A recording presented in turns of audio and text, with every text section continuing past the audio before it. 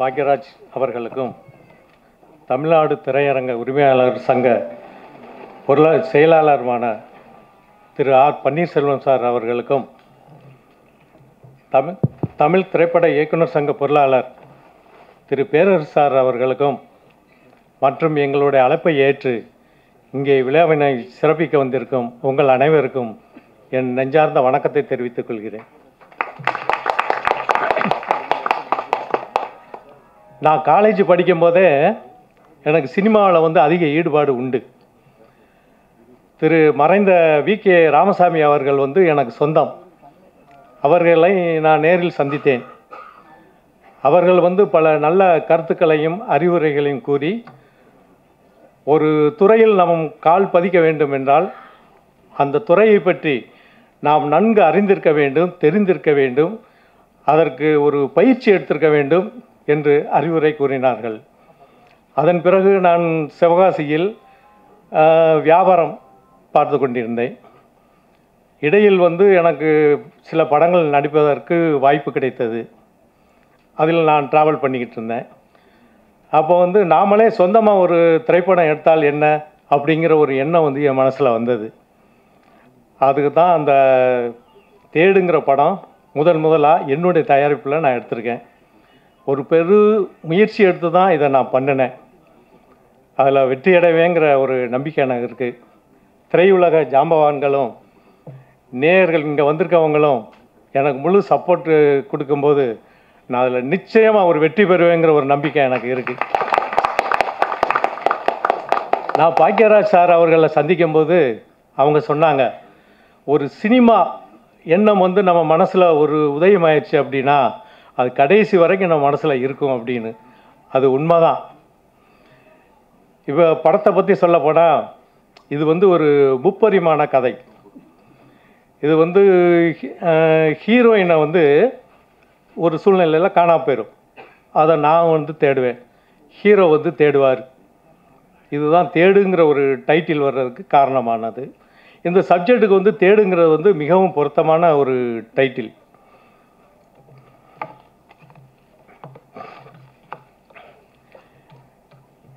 Director திரு சுசி ஈஸ்வர் அவர்கள் என்னிடம் இந்த கதையை சொல்லும்போது எனக்கு மிகவும் பிடித்திருந்தது. அதனால் நான் இதை பண்ணலாம் என்று ஒரு முடிவு செய்து இதை பண்ணி முடித்திருக்கிறேன்.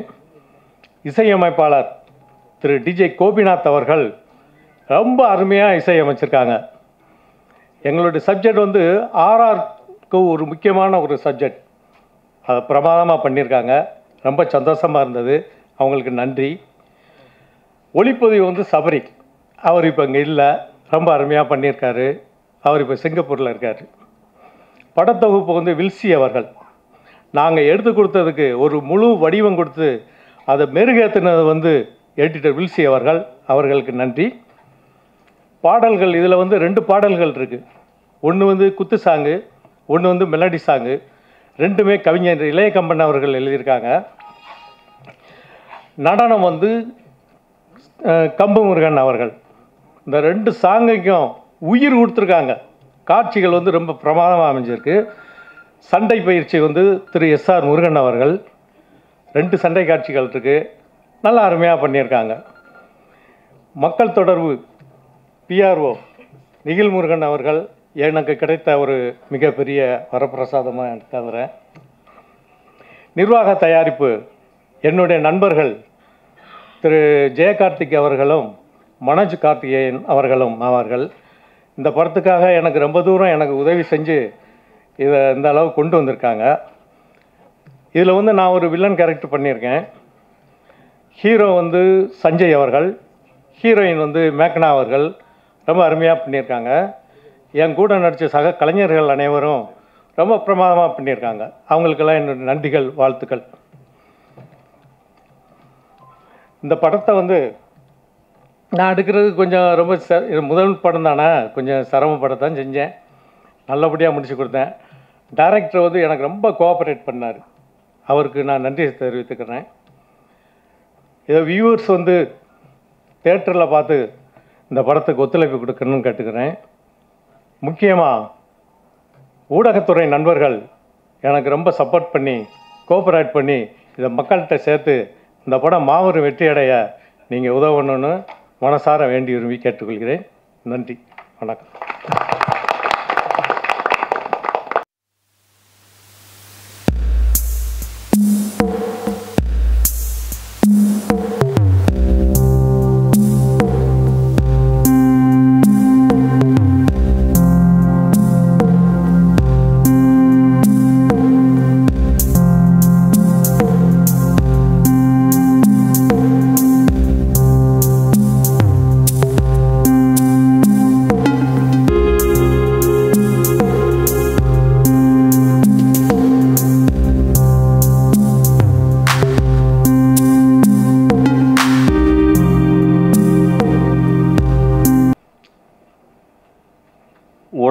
நண்பர்களுக்கும் என் மாலை வணக்கம்.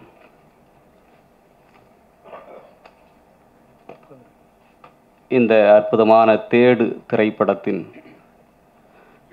பாடல் வெளியீட்டு விழாவில் உங்களை நான் சந்திப்பதில் மிக்க மகிழ்ச்சி அடைகிறேன். என் அருமை இயக்குனர் திரு சுசி ஈஸ்வர் அவர்கள் என்னுடைய நெடுங்கால நண்பர். இந்த தேடு திரைப்படம் அவருக்கு நான் எழுதுகிற மூன்றாவது திரைப்படம் என்று நான் கருதுகிறேன். முதல் படம் தொல்காப்பியன் என்கின்ற ஒரு படம். இரண்டாவது இணைய தலைமுறை என்கின்ற ஒரு படம். இது மூன்றாவது படம். அவர் உதவி இயக்குனராக இருந்த காலகட்டத்தில் அவருடைய இயக்குனர்களுக்கு நான் பாடல் எழுதியிருக்கிறேன். அந்த நட்பும் அந்த அன்பும் இன்று வரை மாறாமல் என்னோடு அவர் பலப்படுத்தி வந்து கொண்டிருக்கிறார். அற்புதமான இயக்குனர் இளைஞர். அவர் கதை சொல்கிற விதம் கதை சூழலை சொல்கிற விதம் மிக அற்புதமாக இருக்கும். அவர் சொல்கிற விதத்தை கதையை நாம் கேட்டுக்கொண்டே இருக்கலாம். அப்படிப்பட்ட ஆற்றல் மிகுந்த இயக்குனர்.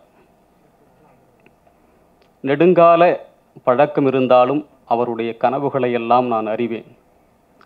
அவர் இந்த திரைத்துறையில் மிகப்பெரிய உயரங்களை எட்டுவதற்கு இந்த படம் ஒரு சான்றாக இருக்கும் என்று நான் கருதுகிறேன்.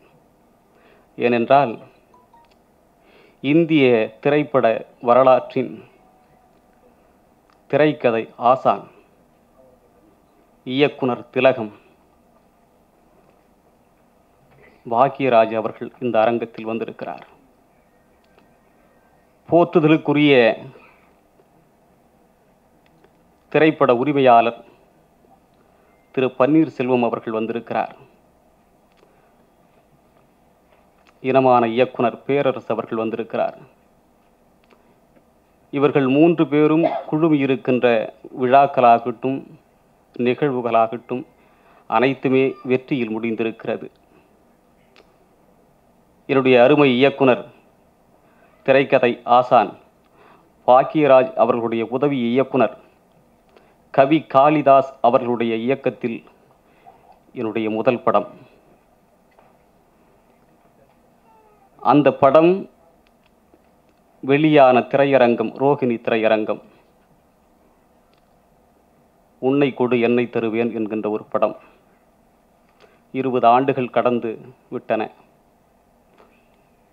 அப்படிப்பட்ட மக்கள் திலகையும் இயக்குனர் திலகத்தினுடைய உதவி இயக்குனராக இருந்த கவி காளிதாஸ் அவர்கள் எனக்கு வாய்ப்பு நல்கி இன்று அந்த இயக்குனர் திலகமே என்னுடைய பாடல்களை வெளியிடுவதற்கு இங்கு வருகை தந்தது. எனக்கு மிக்க மகிழ்ச்சியை ஏற்படுத்துகிறது. மூன்று படங்களுக்கு ஈஸ்வர் அவர்களோடு நான் பரி செய்திருக்கிறேன். இது அவருக்கு நான் எழுதுகிற பத்தாவது பாடல் என்று கருதுகிறேன். அறுநூறு எழுநூறு பாடல்களை நான் கடந்து விட்டேன். இசை புயல் ஏ ஆர் ரஹ்மான் தொடங்கி இன்று இசைஞானி இளையராஜா வரைக்கும் நான் எழுதியிருந்தாலும் என் அருமை இயக்குனர் சுசி ஈஸ்வர் அவர்களுக்கு அவர்களுடைய படத்தில் நான் பாடல் எழுதுவது பெருமையாக கருதுகிறேன். ஏனென்றால் அவர் பாடல் விஷயத்தில் லேசாக சுலபமாக திருப்தி கொள்கிற இயக்குனர் அல்ல. கொஞ்சம் கடினமாகத்தான் இருக்கும். தேடுவார். அவர் தேடுகிற சொற்கள் எல்லாம் முத்துக்கள் போல ஒவ்வொன்றையும் பிரகாசமான சொற்களாக வேண்டும் என்று என்னோடு அவர் விவாதம் செய்வார். அப்படிப்பட்ட இயக்குனர் அவர்கள் இந்த துறையில் வெல்ல வேண்டும். அருமை இசையமைப்பாளர் டிஜே கோபிநாத் அவர்கள் இந்த தேடு திரைப்படத்திற்கு இரண்டு பாடல்கள் அற்புதமான பாடல்களை வழங்கியிருக்கிறார். கோலி சோடா வாழ்க்கடா ராசா நீ கோடு போட்டு வாடுடா பேசா என்கிற ஒரு அற்புதமான துள்ளல் பாடல். ஒரு நூறு ஜென்மம் வாழ்வேன் உன்னோடு உனை நீங்கி போனால் போவேன் மண்ணோடு என்கின்ற ஒரு மெல்லிசை பாடல். அற்புதமான உயரங்களை தொடுவதற்கு கோபிநாத் அவர்கள் காத்து கொண்டிருக்கிறார். அதற்கு இந்த விழா ஒரு சான்றாக அமைந்திருக்கின்றது. நீங்கள் எல்லோரும் இந்த பாடல்களை பிரபலம் செய்தது போலவே தேடு திரைப்படத்தையும் மிகப்பெரிய வெற்றி அடைய செய்ய வேண்டும் என்று கேட்டுக்கொண்டு இந்த விழாவை அற்புதமாக அபாரமாக கட்டமைத்திருக்கின்ற அன்பு சகோதரர் நிகில் முருகன் அவர்களுக்கு எனது வாழ்த்துக்களை சொல்லி விடைபெறுகிறேன். நன்றி. நன்றி. கம்ப முருகன் அவர்கள். இங்கு வருகை தந்திருக்கும் பத்திரிகை மீடியாக்களுக்கும் இங்கு வருகை தந்திருக்கும் திரைப்பட ஜாம்பவான்கள் ஐயா அனைவர்கள் அவர்களுக்கும் இங்கு வருகை தந்திருக்கும் மற்றும் அனைவருக்கும் எனது மனமார்ந்த நன்றியை தெரிவித்துக் கொள்கிறேன். இந்த படத்தில் டான்ஸ் மாஸ்டராக ஒர்க் பண்ணியிருக்கிறேன் இந்த வாய்ப்பை எனக்கு அளித்த தயாரிப்பாளர் முருகேசன் சாருக்கும் ஈஸ்வர் சாருக்கும் மனமார்ந்த நன்றி தெரிவித்துக் கொள்கிறேன். மற்றும் அனைத்து டெக்னீஷியனும் சிறப்பாக ஒர்க் பண்ணியிருக்கிறாங்க. இந்த படத்தை நீங்கள் வந்து தேட்டரில் பார்த்து இந்த படம் வெற்றி அடைய உங்களோட ஆசீர்வாதம் வாழ்த்துக்கள் தேவை என்று பணிவோடு வேண்டிக் கொள்கிறேன். நன்றி வணக்கம். நன்றி. இப்படத்தின் நிர்வாக தயாரிப்பாளர் திரு. ஜெய கார்த்திகேயன்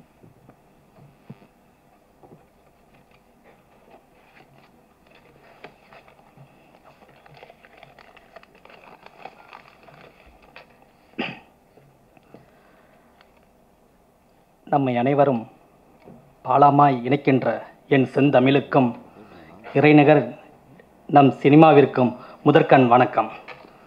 இங்கு வந்திருக்கும் எங்கள் முன்னோடிகளான நம் திரையுலக ஜாம்பவான் அனைவர்களுக்கும் வணக்கம். தேடு படத்தை பற்றி பேசுவதற்கு முன் என் இனிய நண்பர் முருகேசன் அவர்களை பற்றி பேசியே ஆக வேண்டும். பழகுவதற்கு இனியவர் பார்வையில் எளியவர் குணத்தில் சிறந்தவர். இவரது நடிப்பை பற்றி சொல்லணும்னா விரைவில் நமது திரையுலகில் நிச்சயம் ஒரு வலம் வருவார். அத்துணை திறமைகளையும் உள்ளடக்கி வைத்துள்ளார். இவரது தேடலின் முதல் பயணம் தேடு. திட்டமிட்டபடி மிக சிறந்த முறையில் படத்தனை முடித்துள்ளார். தொடர்ந்து படங்கள் தயாரிக்க தயாரிக்க எனது மனமார்ந்த வாழ்த்துக்கள். நண்பர் இயக்குனர் சுசி ஈஸ்வர் நேர்த்தியான முறையில் சிறப்பான முறையில் படத்தினை இயக்கியுள்ளார். இன்றைய நிகழ்ச்சியின் நாயகன் நண்பர் டிஜே கோபிநாத் அவர்கள் சிறந்த முறையில் இ- இசையமைத்துள்ளார். பின்னணி இசையில் மிகவும் இப்படத்திற்கு பலமாக இருக்கும் என்பதை மாற்று கருத்து இருக்க முடியாது. சபரியின் படக்கோர்வை மிக சிறப்பு. நம் நண்பர் இளையகம்பன் இளையகம்பனே தான். இனிய நண்பர் கம்பு முருகன் நடனம் மேலும் தெம்பு ஊட்டியுள்ளது. எனது அருமை நான் நண்பரின் எஸ்ஆர் முருகனின் சண்டை காட்சிகள் பிரம்மாண்ட பிரம்மாண்டத்துடன் யதார்த்தத்தை மிக நேர்த்தியான முறையில் கையாண்டுள்ளார். அவருக்கு எனது சிறப்பு பாராட்டுகள். தம்பி சபரியின் ஒளிப்பதிவு மிகவும் தெளிவு. டிசைன்ஸ் அனைத்திலும் மிக அருமையான வடிவமைப்பாளர் எனது நண்பர் சசி. இன்றைய தந்தி வந்தது ஒரு சாம்பிள் தான். நிகில் சார் இந்த அரங்கிற்கும் எங்கள் குழுவிற்கும் நாயகன். வேறு வார்த்தைகள் இல்லை. நன்றி சார் மேலும் என்னுடன் இணைந்து மிக சிறப்பான பணியாற்றிய எனது அருமை நண்பர் மனோஜ் கார்த்திகேயன் அவர்களுக்கு நன்றி சொல்ல கடமைப்பட்டிருக்கிறேன். சஞ்சய் மேகனா. இப்படத்தில் இருவரின் பொருத்தம் ஜாடிக்கேற்ற மூடி என்று சொல்லலாம். மேலும் இப்படத்தில் நடித்துள்ள அனைத்து கலைஞர்களும் மிக சிறப்பான முறையில் நடித்துள்ளார்கள். அனைத்து தொழில்நுட்ப கலைஞர்களும் மிக சிறப்பான முறையில் பணியாற்றி உள்ளார்கள். இந்த படைப்பு மார்பெரும் மாபெரும் வெற்றியடைய எல்லாம் வல்ல இறைவனை வேண்டி விடைபெறுகிறேன். நன்றி வணக்கம் ஹலோ நன்றி அடுத்ததாக திரு பிரபாகரன் அவர்கள்.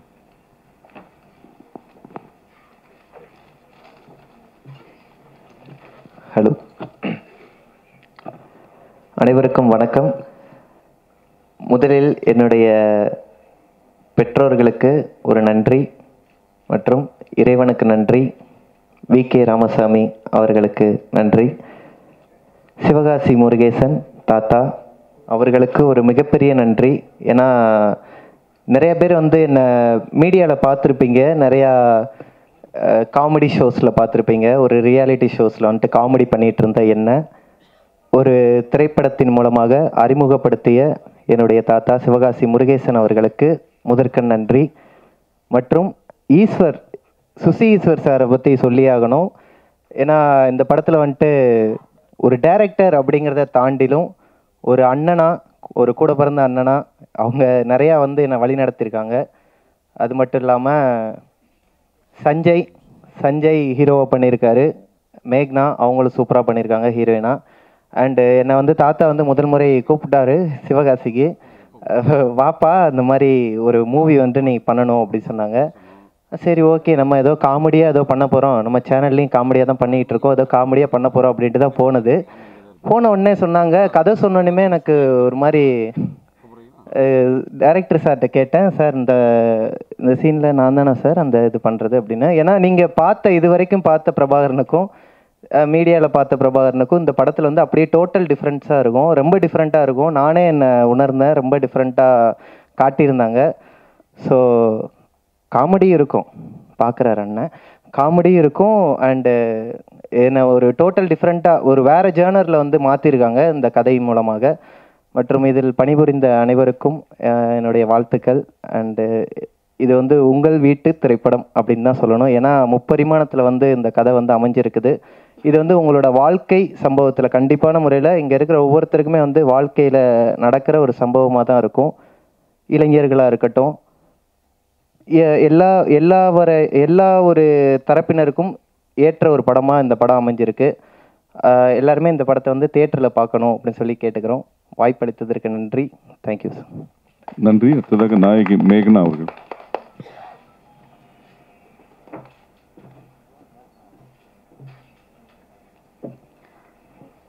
எல்லாருக்கும் வணக்கம். இங்கே வந்திருக்கிற எல்லா பெரியவர்களுக்கும் வணக்கம். லாஸ்ட் டைம் கூட வீராபுரம் மூவி ஆடியோ லான்ச்சுக்கும் சார் வந்திருந்தாரு. பாக்யராஜ் சார் எல்லாரும் வந்திருந்தாங்க. ஒன்ஸ் அகெயின் தேடு மூவிக்கும் வந்ததுக்கு ரொம்ப நன்றி sir thank you so much and I would like to thank my director Eswar sir and producer Murugesan sir and whole team எல்லாரும் வந்து ரொம்ப சப்போர்ட்டிங்காக இருந்தீங்க. ஒரு ஃபேமிலியோடு சேர்ந்து பண்ண மாதிரி தான் இருந்தது. ஃபேமிலியோடு இருந்த மாதிரி தான் இருந்தது. ரொம்ப சப்போர்ட்டிங்காக இருந்தீங்க. Hero Sanjay and second hero Prabhakaran எல்லாம் ரெண்டு பேரும் ரொம்ப சப்போர்ட்டாக இருந்தாங்க. ரொம்ப ஃபேமிலியாக இருந்து லைக் எப்படின்னா நாட் ஓன்லி சீரியஸ் எல்லாமே டேரக்டர் சார் வந்து பார்த்தீங்கன்னா எல்லா எமோஷன்ஸும் வாங்கியிருக்காங்க. ஐ மீன் எல்லார்கிட்டே இருந்தும் ரொம்ப எஃபர்ட் போட்டு பண்ணியிருக்கோம். ஸோ எல்லாரும் தியேட்டருக்கு போய் வாட்ச் பண்ணுங்கள் எல்லாரும் சப்போர்ட் பண்ணுங்கள் தேங்க்யூ ஒன்ஸ் அகைன் இங்கே வந்திருக்கிற மீடியா எல்லாருக்கும் தேங்க்யூ தேங்க்யூ ஸோ மச் நன்றி. அடுத்ததாக நாயகன் சஞ்சய்.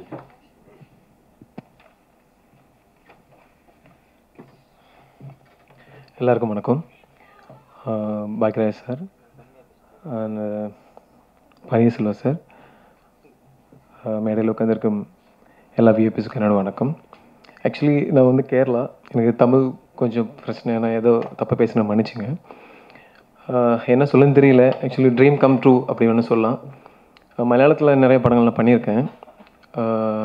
அப்புறம் தமிழில் பண்ணோம். ஆக்சுவலி அம்மா அப்பா வந்து தமிழில் பேசுவாங்க. ஏதாவது தமிழில் பண்ண அப்படின்னு ஃபஸ்ட் நான் ஈஸ்டர் சார்ட்டுக்கு போனப்போ சார் ஒரு படம் இனிய தலைமுறையோட படம் பிளான் பண்ணிட்டுருந்தாரு சார் சார் ஏதாவது சான்ஸ் அப்படி கேட்டப்போ சரி ஒரு ஃபோட்டோ தந்துட்டு போங்க அப்படின்னு சொல்லிட்டு நான் அனுப்பிச்சிட்டாரு. ஒரு டூ த்ரீ மந்த்ஸ் நானும் நினச்சேன் சரி கூப்பிட மாட்டார் அப்படி தான் நினச்சேன் சார். திடீர்னு கூப்பிட்டு தம்பி ஒரு ஃபோட்டோ அனுப்புங்க அப்படின்னா ஃபோட்டோ அனுப்புனேன். சரி எங்கே இருக்கீங்க? கேரளா வரீங்க? சீக்கிரம் கிளம்பி வாங்க அப்படின்னு சொல்லிட்டு நான் போனேன். ஒரு சின்ன கேரக்டர் பண்ணுங்க அப்படின்னு சார் பண்ணலாம் அப்படின்னு. அந்த சீன்ஸ் ஃபஸ்ட் சீன் எனக்கு என்னால் மறக்க முடியாது. ஒரு ஜஸ்ட் ஒரு ஒரு வெஹிக்கிளில் போகிற சீன் என்ன கேரக்டர்னு எனக்கு தெரியாது. Two days three days continue shoot போட்டு இருக்கு. ஒரு அசிஸ்டன்ட் டேரக்டர் நான் கேட்குறேன் என்ன கேரக்டர் பண்ண பண்ண? அப்போ நீ தான் இதோட செகண்ட் லீட் பண்ணிகிட்ருக்க அப்படின்னு. ஷாக் ஆகிடுச்சு அதுக்கப்புறம் சாரை சாரை போய் பேசினேன். அது இதில் முருகேஷ் சார் அதில் ஒரு ப்ரொஃபஸர் கேரக்டர் பண்ணியிருந்தார். அவரும் ஒரு ப்ரொடியூசர் எனக்கு தெரியாது. அப்புறம் வந்து என்கிட்ட பேசிட்டே இருப்பார். அடுத்த மூவி எல்லாம் அந்த மூவி முடிஞ்சு அடுத்த மூவி இந்த தேர்ட் மூவி பிளான் பண்ணிகிட்டு இருக்கும்போது ஆஹ், சஞ்சய் இந்த மாதிரி ஒரு கேரக்டர் இருக்குது. அப்போ தான் நினச்சேன் வில்லன் நினச்சேன். வில்லனாக பண்ணிட்டு நினச்சேன். நான் அது நினச்சி தான் போனேன் நான். ஆக்சுவலி டூ டேஸ்க்கு அப்புறம் தான் தெரியுது. நான் தான் அதில் ஹீரோ பண்ணேன் அப்படின்னு. ரொம்ப ஷாக்காக இருந்தது. எப்போவுமே ஷாக் கொடுத்துட்டு இருப்பார் ஈஸ்வர் சார். அடுத்து என்னன்னு தெரியல. அடுத்து ப்ரொடியூசர் பண்ண சொல்லுறதுன்னு பயமாக இருக்குது ஸோ எல்லாருமே இந்த படத்தில் எல்லாருமே டூ க்ரூ மெம்பர்ஸ் எல்லாருமே ஒரு ஃபேமிலியாக இருந்து தான் ஒர்க் பண்ணியிருக்காங்க. எஸ்ஆர் முருகன் சார் என்ன சொல்லணும்னு தெரியல. ஒரு டூ டேஸில் ரெண்டு ஃபைட்டு முடிச்சிருக்காரு. என்னை பொறுத்த வரைக்கும் நான் ஃபைட்டுக்கெல்லாம் வந்து ஒரு டென் டேஸ் இல்லாட்டா எயிட் டேஸ் மேலே ஃபைட்டு போகணும்னு கேள்விப்பட்டிருக்கேன். டூ டேஸில் ரெண்டு ஃபைட்டு முடிச்சிருக்காரு. ஆக்சுவலி பிரேக் ஆட்டெல்லாம் இல்லை தம்பி இப்போ முடிச்சிடலாம் இப்போ முடிச்சிடலாம்னு சொல்லிட்டு. ஆக்சுவலி ரொம்ப ஹார்ட் ஒர்க் எடுத்து நல்லா பண்ண வச்சார். எஸ்எஸ் முருகன் சார் நான் டான்ஸ் எனக்கு தெரியாது. என்னை வச்சு எப்படி பண்ணான்னு எனக்கு தெரியல. அதுக்கு ரொம்ப தேங்க்ஸ் சார் ரொம்ப ஹார்ட் ஒர்க் பண்ணி வச்சுருக்காரு. ஒரு ஃபார்ம் ஃபேமிலியாக இருந்து இந்த படம் நம்ம பண்ணோம். கண்டிப்பாக இது தியேட்டரில் எங்கள் எல்லாருக்குமே பிடிக்கும். நீங்கள் எல்லாருமே இந்த தியேட்டரில் போய் பார்த்து சப்போர்ட் பண்ணுங்கள் ஒன் செகண்ட் இங்கே வந்திருக்க எல்லாருக்குமே மீடியா நம்பர்களுக்கும் விஐபிகளுக்கும் ஒன் செகண்ட் தேங்க்ஸ் நன்றி வணக்கம். நன்றி. அடுத்ததாக இயக்குனர் திரு பேரரசு அவர்கள்.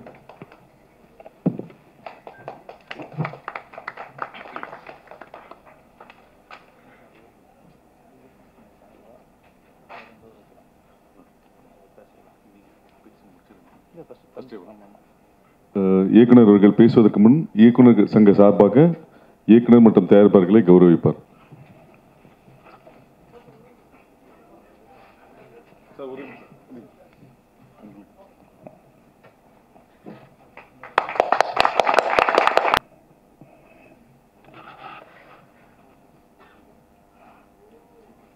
ட்ரெய்லர் வெளியிருக்கு முன்னாடி ஸ்க்ரீன் பண்ணும்போது ஒரு இங்கிலீஷ் பட டைப்பில் இருந்தது. என்னடா இந்த அளவுக்கு மேக்கிங் பழு பில்டப்பாக இருக்கே? இங்கிலீஷ் படம் ரேஞ்சுக்கு எடுத்துருக்காங்களே அப்படின்னு பார்த்தா திடீர்னு நிகில் சிரிக்கிறார். பகீர்னு ஆகிப்போச்சு ஏடா, நிகிலுக்கு இந்த அளவுக்கு பில்டப் பண்ண முடியுமான்னு இங்கே கொஞ்சம் கற்றுக்க வேண்டியிருக்கு. நம்ம கொண்டு பில்டப் பத்தாது. நிகழ்கிட்ட தனியாக வந்து நான் ட்ரைனிங் எடுத்துக்கலாம். ஆமாம் அதுக்கப்புறம் தயாரிப்பாளர் சிவகாசி முருகேசன் ரைட்டில் ஏன் சிவாசி படத்தில் அந்த அந்தளவுக்கு நம்ம டைட்டில் போட்டதில்லை. பேரில் எல்லா வெடியும் இருக்கிறதுல சரவெடியும் அடக்கி அவர் சிவகாசி முருகேசன். இதை முதல்ல பார்த்துட்டு தான் உங்களுக்கு காப்பி அடிச்சிருப்பேனா? எல்லாம் பில்டப்பாகவே இருக்குது அடுத்து கதாநாயகன் சஞ்சய் பேசினார். நான் கேரளா தமிழ் கொஞ்சம் பிரச்சனைன்னு சொன்னார். தமிழுக்கு எல்லாமே பிரச்சனை தான். கேரளாவும் பிரச்சனை தான். கர்நாடகாவும் பிரச்சனை தான். டெல்லியும் பிரச்சனை தான். மகாராஷ்டிரம் பிரச்சனை தான். சின்னத்தில் தமிழுக்கு தமிழே பிரச்சனை தான். அதனால் நாங்கள் எல்லாம் பழகி போச்சு எங்களுக்கு. பிரச்சனையை பார்த்து பார்த்து தமிழுக்கு ஒன்றும் இனிமேல் பிரச்சனை நாங்கள் தாங்கிக்குவோம். ஒன்றும் பிரச்சனை இல்லை. இந்த நல்லா தான் பேசினீங்க. வாழ்த்துக்கள். அப்புறம் கதாநாயகி மேக்னா அப்படின்னாங்க. அப்புறம் மேக்னா நாயுடு அப்படின்னு ரொம்ப குஷியாக தான் வந்தேன். நாயுடு இல்லை. மேக்னா தான். நம்ம மேக்னா. நல்லா தமிழ் பேசுவாங்க. இன்றைக்கி தான் கொஞ்சம் இங்கிலீஷும் கலந்து பேச நினைக்கிறேன். நல்ல ஹோம்லியான முகம். நல்லா வரணுவங்க அவங்களுக்கு என் வாழ்த்துக்கள். பன்னீர்செல்வம் சாருக்கு அன்பு வணக்கம். ஏன்னா இப்போ தேட்டர் உரிமையாளர்லாம் தனியாக நம்ம கவனிச்சுக்கணும். இப்போ ஹீரோட கிடச்சிருவாங்க. தேட்டர் கிடைக்கிறது கொஞ்சம் கஷ்டமாக இருக்குது அதனால் தனிப்பட்ட முறையில் பன்னீர்செல்வம் சாருக்கு. என்னுடைய வணக்கம். அப்புறம் எல்லாருக்கும் ஆசான். யார் யார் ஊர்லேருந்து அசிஸ்டண்ட்டாக சென்னைக்கு வராங்களோ யாரெல்லாம் டைரக்டர் ஆகணும்னு ஆசைப்படுறாங்களோ எல்லாருக்கும் ஏகமானதான ஒரே ஆசான். எங்கள் இயக்குனர் திரு கே. பாக்கராஜ் அவர்கள்.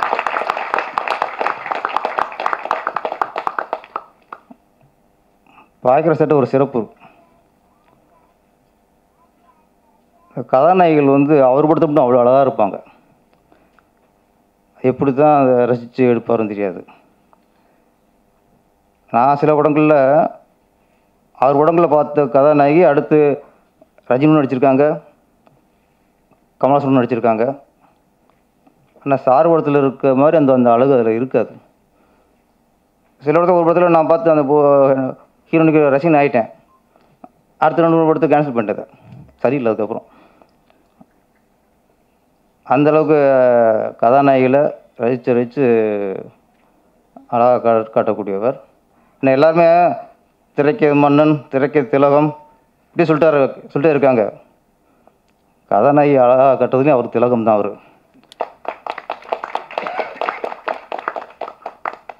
ஆக்ஷன் படம் பண்ணுறாங்கல்ல ஹீரோயிசமாக வச்சு படம் பண்ணுறாங்கல்ல இவங்களாம் வந்து ஹீரோ லவ் பண்ணணும். இந்த லவ் ஸ்டோரி பண்ணுற டைரக்டர்லாம் கதாநாயகி லவ் பண்ணணும். அப்போ தான் கதாநாயகி அழகாக தருவாங்க. அதுக்காக நீங்கள் சார் தப்பாக நினச்சிடாதீங்க. ஷூட்டிங்கில் சொல்கிறேன் ஆக்ஷன் பண்ணோம்னா ஹீரோ எந்தெந்த எந்த அளவுக்கு நேசிக்கிறாங்களோ எந்த அளவுக்கு லவ் பண்ணுறாங்களோ அந்த அளவுக்கு பில்டப்பு அந்த அளவுக்கு அந்த ஹீரோஸ்லாம் தூக்கி வைப்பாங்க அப்படியே. அது மாதிரி பாட்காஸ்டர் வந்து அதில் சிறப்பு. உங்க கொடுத்தத எல்லா கதையும் அழகாக தெரிஞ்சாங்க. இந்த படத்தில் மேக்னம் அழகாக தெரிஞ்சாங்க. ஈஸ்வர் லவ் லவ் பண்ணி நினைக்கிறேன். ஸ்பாட்டில் நான் சொன்னேன் அந்த க கதாபாத்திரத்தை. கதாபாத்திரம் லவ் பண்ணணும். நமக்கு அதெல்லாம் இல்லை. அதில் வந்து வேஸ்ட் நம்ம. தேடு. ஒரு தயாரிப்பில் சொன்னார் தேடு. கதாநாயகியை தேடுற கதைனார். கதையில் வந்து கதாநாயகியை தேடலாம். இப்போல்லாம் நிறைய கதாநாயகி தேட வேண்டியிருக்கு. வர்றாங்க காணாமல் போயிடுறாங்க. தேடு டைட்டில் வந்து கொஞ்சம் இதில் கொஞ்சம் புதுசாக இருக்குது வாழ்க்கையிலே தேடுங்கிறது இப்போ எப்படின்னா கருவுறும்போது நல்ல டாட்டை தேட வேண்டியிருக்கு ஒரு தாய். அப்புறம் பிரசவம் போது நல்ல ஆஸ்பத்திரியை தேட வேண்டியிருக்கு. அப்புறம் குழந்த பிறந்துட்டா நல்ல பேரை தேட வேண்டியிருக்கு. இப்போலாம் பிறந்த உடனே ராசியை பார்த்துட்டு வீல் ஆரம்பிக்கிற மாதிரி பேர் வைங்க கால் ஆரம்பிக்கிற மாதிரி பேர் வைங்க. வாழ ஆரம்பிக்கிற பேர் வைங்க. இந்த மாதிரி ஃபஸ்ட்டு ஃபஸ்ட் எடுத்து எடுத்து விட்றாங்க அவங்களுக்கு பேரே தேட வேண்டியிருக்கு இப்போது அதுக்கப்புறம் ஸ்கூல் தேட வேண்டியிருக்கு நல்ல ஸ்கூலாக அதுக்கப்புறம் நல்ல காலேஜ் தேட வேண்டியிருக்கு. காலேஜ் போனதுக்கப்புறம் நம்மளுக்கு நல்ல லவரை தேட வேண்டியிருக்கு. அது முக்கியம்ல. அது தேட வேண்டியிருக்கு. அப்புறம் வந்து வேலையை தேட வேண்டியிருக்கு. வேலை கிடைக்குதோ கிடைக்கலையோ? கல்யாணத்துக்கு பொண்ணை தேட வேண்டியிருக்கு. அது போதும்னு ஆகி போயிடும் பொண்ணு முடிவாயிட்டா உடனே கல்யாண மண்டபம் தேட வேண்டியிருக்கு. கல்யாண மண்டபம் தேடி கல்யாணம் பண்ணி கல்யாணம் பண்ணிட்டா நிம்மதியை தேட வேண்டியிருக்கு. எல்லாரும் தேடுற விஷயம் அது. கல்யாணம் ஆன உடனே அப்புறம் அதை தேட வேண்டியிருக்கு. சரி அதெல்லாம் முடிச்சுட்டு ஒரு ஐம்பது அறுபது வயசு போச்சுன்னா புண்ணியத்தை தேட வேண்டியிருக்கு. புண்ணியத்தை தேடி காசி ராமேஸ்வரம் போக வேண்டியிருக்கு. இதெல்லாம் தேடி முடிச்சுட்டா எண்பது எண்பது வயசுக்கு அப்புறம் பொண்ணை தேடுறான் மனுஷன். அப்போ தான் வாழ்க்கையை தேடுறான். இந்த வேகமான காலத்தில் வாழ்க்கையை தொடச்சிட்றாங்க நிறைய பேர். அந்த சார கட்டம் வரும்போது தான் வாழவே ஆசைப்பட்றான். இந்த மாதிரி வாழ்க்கை பூரா நம்ம தேடிட்டே இருக்கோம். சிலருக்கு தேர்ந்தது கிடைச்சிருது. சிலருக்கு கடைசி வரைக்கும் தேடிட்டே இருக்கோம். அதுக்கப்புறம் இந்த சினிமா லைஃப்பில் பார்த்தோம்னா நம்ம உதவி இயக்குநர்கள் பாடு பெரும்பாடு சென்னைக்கு வந்ததுக்கப்புறம் முதல்ல தேடுறது நண்பனை தேடுவான். எப்படி ஒரு நண்பன்னா ரூமில் இடம் கொடுக்குற நண்பன். அதுக்கப்புறம் வாய்ப்பு தேடுறது. அப்புறம் கதை ரெடி பண்ணிட்டு பிடிச்சிட தேடுறது. எல்லாம் தேடி ஒரு வழியாக படத்தை முடிச்சிட்டா ரிலீஸ் பண்ணுறதுக்கு அப்புறம் தேட்டரை தேடுறது. சொல்லி வைப்போம் சார் இருக்கார்ல தேட்டரை தேடுறது. தேட்டர்லாம் தேடி முடித்து படத்தை ரிலீஸ் பண்ணால் மக்கள் உன்னை தேடுறான். கதையை தேடுறான். இன்னைக்கு அப்படியே போச்சு இன்னைக்கு. இப்படி ஒவ்வொன்றா தேடிக்கிருக்கோம் தேடு படத்தில் கதையை தேட வேண்டிய அவசியம் நினைக்கிறேன். கதை இருக்குது அது என்ன இருக்குன்னு கொஞ்சம் ஒரு குழப்பி வச்சுருக்காரு. சில ட்ரெயிலர் பார்க்கும்போது கண்டுபிடிச்சிருவோம் ஓ இது இந்த படம் இந்த சேனல்ன்ட்டு இது எதுவும் கண்டுபிடிக்க நம்மளால் கண்டுபிடிக்க முடியல. அதுவே அவரோட டேலண்ட் தான். பாடலாசிரியர் இளைய கம்பன். அவர் மேலே நம்மளுக்கு தனிப்பட்ட பாசம் இருக்கு. தனிப்பட்ட பிரியம். காரணம்னா அவரோட பேர் இளைய கம்பன். அருமையான பேர். ஏன் அந்த பேருனால் அவர் மேலே பாசம்னா எங்கள் ஊர் நாட்டாசனங்கோட்டை. நான் பிறந்த ஊர். எங்கள் ஊரில் தான் கவி சக்கரவர்த்தி கம்பன் வாழ்ந்த ஊர் அது.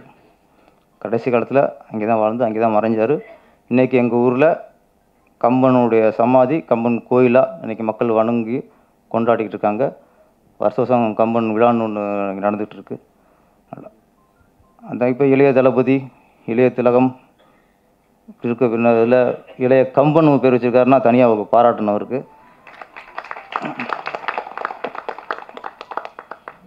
நல்ல பாட்டு எழுதக்கூடியவர் அவர். இதில் கொஞ்சம் குத்துப்பாட்டு ஒன்று எழுதியிருக்காரு. குத்துப்பாட்டில் மேக்ஸிமம் அதிகம் தத்துவம் இருக்காது. ஆனால் அந்த ஃபஸ்ட்டு வரியிலேயே தத்துவம் இருக்குன்னு நினைக்கிறேன். கோழிச்சோடா வாழ்க்கை தான் ராசா. எல்லா சோடாவையும் ஈஸியாக திறந்துடலாம். இங்கே கோழிச்சோடாவை ஈஸியாக திறக்க முடியாது. குளிர்பான பாட்டில் எல்லாத்தையும் ஈஸியாக திறந்துருவோம். சில ஆளுக்கு பீர் பாட்டில் கூட அப்படி பல்லு அடித்து திறப்பான். ஆனால் கோழிச்சோடா வந்து அவ்வளோ ஈஸியாக திறந்து முடியாது. அது தனி டெக்னிக் இது. நான் ஊரில் இருக்கும் நிறைய கோழிச்சோடா வாங்கி அந்த கையில் வச்சு அமுக்குவாங்க. விரலில் வச்சு அமுக்கி திறப்பாங்க. பல தடவை ட்ரை பண்ணிக்கேன் இது வரைக்கும் திறக்கவே முடியல. எனக்கும் வாழ்க்கையில் லட்சியம். ஒரு கோழிச்சூடை வாங்கி விரல் அமைக்க திறக்கணும். பெரிய லட்சியமாகவே இருக்குது ஆமாம் அது சீக்கிரம் வந்து அது கொஞ்சம் இன்னும் ட்ரை பண்ணுவோம். முடியாத எதுவுமே இல்லை. அதை தேடு. ப்ரொடியூசர் வந்து சிவகாசி முருகேசன். படத்தில் தாதா மாதிரி இருக்கார். அந்த தாத்தா இமேஜை உடச்சார் அவர். பிரபாகரன். தாத்தா தாத்தான்ட்டு. ஏங்க நாங்கள் அவர் வேறு மாதிரி ரேஞ்சில் பார்த்துக்கிட்டு இருக்கோம். சாங்லாம் பாடிக்கிட்டு குத்து பாட்டம் பாடிக்கிருக்காரு. நீங்கள் தாத்தான்ட்டி வந்து. அதெல்லாம் வீட்டில் வச்சுக்கோங்க. இங்கெல்லாம் தாத்தாவாவது பாட்டியாவது ஆயாவது. அவர் தாதா அவர். ஆமாம் இடையில இத்துலாம் போடக்கூடாது. இமேஜை நான் காப்பது பெரிய விஷயங்க. நீங்கள் லேட்டுக்கு வந்து உடச்சிட்டு போயிரிய இது சினிமா கற்றுட்டு வரணுங்கிறது. இந்த படம் வெற்றியில் சிவகாசி முருகேசன் அவர்கள் இன்னும் பல படம் தயாரிக்கணும். இயக்குனர் சுசி ஈஸ்வர். இது மூணாவது படம். இந்த படம் மிகப்பெரிய வெற்றி அடையணும் அடையும் மிகப்பெரிய ரவுண்டுங்க வரணும். இதில் பணியாற்றிய நடிகர்களுக்கும் பிலிம்பு கலைஞர்களுக்கும் அனைவருக்கும் வாழ்த்துக்கள் நன்றி வணக்கம். நன்றி. அடுத்ததாக பாடகர் திரு வேல்முருகன் அவர்கள். அசுரத்தனமாக வருகிறார். எல்லாருக்கும் வணக்கம். தேடு படத்தில் எனக்கு இலைக்கமணன் மூலமாக தான் அந்த பா டைரக்டர் சார்கிட்ட சொல்லி வாய்ப்பு கிடச்சிது. ரொம்ப சந்தோஷம். அதில் பாடல் அண்ணன் பாடல் பாடு நிறைய பாடல் அண்ணனுடைய பாடல் நிறைய பாடியிருக்கிறேன். அதில் முதல் முதல்ல வந்து இந்த தருணத்தில் அது கரெக்டாக இருக்கும்னு நினைக்கிறேன். பெற பெர சார் நானும் ஒரு ஸ்கூலுக்கு போயிருந்தேன் அப்போ அம்மாவை பற்றி ஒரு பாடல் பாடியிருந்தேன். கண் கலங்கிட்ட இருந்த பாட்டு அப்போ நான் சொல்லியிருந்தேன் அந்த மாதிரி அண்ணன் இருந்தாங்க அந்த பாட்டு அப்படின்னு. அப்புறம் இந்த பாடல் ஏதாவது படத்துலலாம் வந்ததா அப்படின்னாங்க இல்லை சார் நான் அந்த மாதிரி பண்ணியிருக்கிறோம் ஆல்பமா அப்படின்னு. அந்த பாடலும் அண்ணன் எழுதுட்டாங்க ஐயா. அதனால் அந்த பாடல் வந்து முதல் முதல்ல நான் தொலைக்காட்சியில் பாடுறதுக்காக எனக்கு வாய்ப்பு கிடைச்ச சூழ்நிலை. ஏன்னா அண்ணன் வந்து அந்த அம்மாவை பற்றி பாடின அந்த பாடல் வந்து நிறைய தொலைக்காட்சியில் ட்ரை பண்ணி வாய்ப்பு கேட்கும்பொழுது ஒரு தனியார் தொலைக்காட்சியில் அதை நான் ஒரு நிகழ்ச்சியில் பாடினேன் ரெண்டாயிரத்தி ஏழில். அப்போ பாடும்போது அதை பார்த்துட்டு தான் எனக்கு முத முதல்ல சசி சாரும் ஜெம் சாரும் அந்த வாய்ப்பு கொடுத்தாங்க. சுப்பிரமணியபுரம் படத்தில் அந்த பாடலை கேட்டுட்டு அம்மா பாடல் நான் தொலைக்காட்சியில் பாடும்போது. அப்படி நிறைய பாடல்கள் அவருடைய பாடல்கள் தொ- தொடர்ந்து நிறைய இசையமைப்பாளர்களுக்கு பாடுறதுக்கு வாய்ப்பு ஏற்படுத்தி கொடுக்குறாரு பாட வச்சிட்ருக்காரு. ஏதாவது இசையமைப்பாளர்களுக்கு அண்ணன் எழுதுனாங்கனாக்கா இந்த பாடல் யார் வேணால் நம்ம தம்பி இருக்காப்புல வேல்முருகனை பாட வைக்கணும்னு அந்த மாதிரி எனக்கு வாய்ப்பு வாங்கி கொடுத்து இந்த திரையில் எனக்கு பாட வச்சதில் ரொம்ப சந்தோஷம். அதனால் டைரக்டர் சார் அவர்களுக்கும் தயாரிப்பாளர் சார் அவர்களுக்கும் இசையமைப்பாளர் சார்களுக்கும் அண்ணன் கவிஞர் அண்ணன் அவர்களுக்கும் என்னுடைய மனமார்ந்த நன்றியை இந்த நேரத்தில் தெரிவிச்சுக்கிறேன். அதே நேரத்தில் முதல் முறையாக வந்து எத்தனை பாடகர்களுக்கு அந்த வாய்ப்பு கிடச்சிருக்குன்னு தெரியல. முதல் முறையாக பாக்கிரை சார் இசையமைக்கிற அண்மையில் ஒரு போன வாரத்தில் அவருடைய இசையில் நான் பாடியிருக்கிறதுல ரொம்ப பெருமையாக இருக்குது ரொம்ப சந்தோஷமாக இருக்குது. இது பெரிய கொடுப்பனை பெரிய வா- வாய்ப்புன்னு நினச்சி சந்தோஷமாக இருக்குது. மகிழ்ச்சி நன்றி வணக்கம். தேங்க்யூ நன்றி. அடுத்ததாக இசையமைப்பாளர் திரு டிஜே கோபிநாத் அவர்கள்.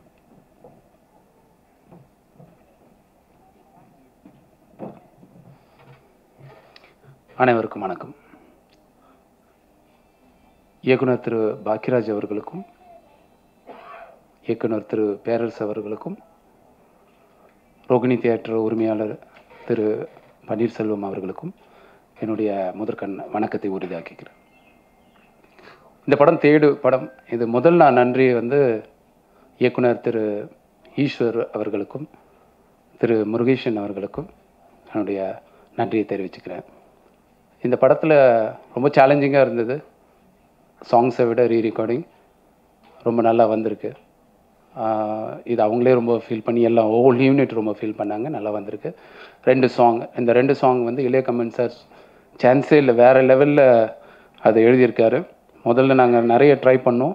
ட்ரை பண்ணி பலவேறு வரிகளை மாற்றி அமைச்சு கடைசியாக பண்ணோம். இதுக்கு இவர் தான் பாடணும்னு சொல்லி வேல்முருகன் சாரை பாட வச்சாங்க. அது நாங்கள் எதிர்பார்க்க முடியாத அளவுக்கு அது வந்திருக்கு.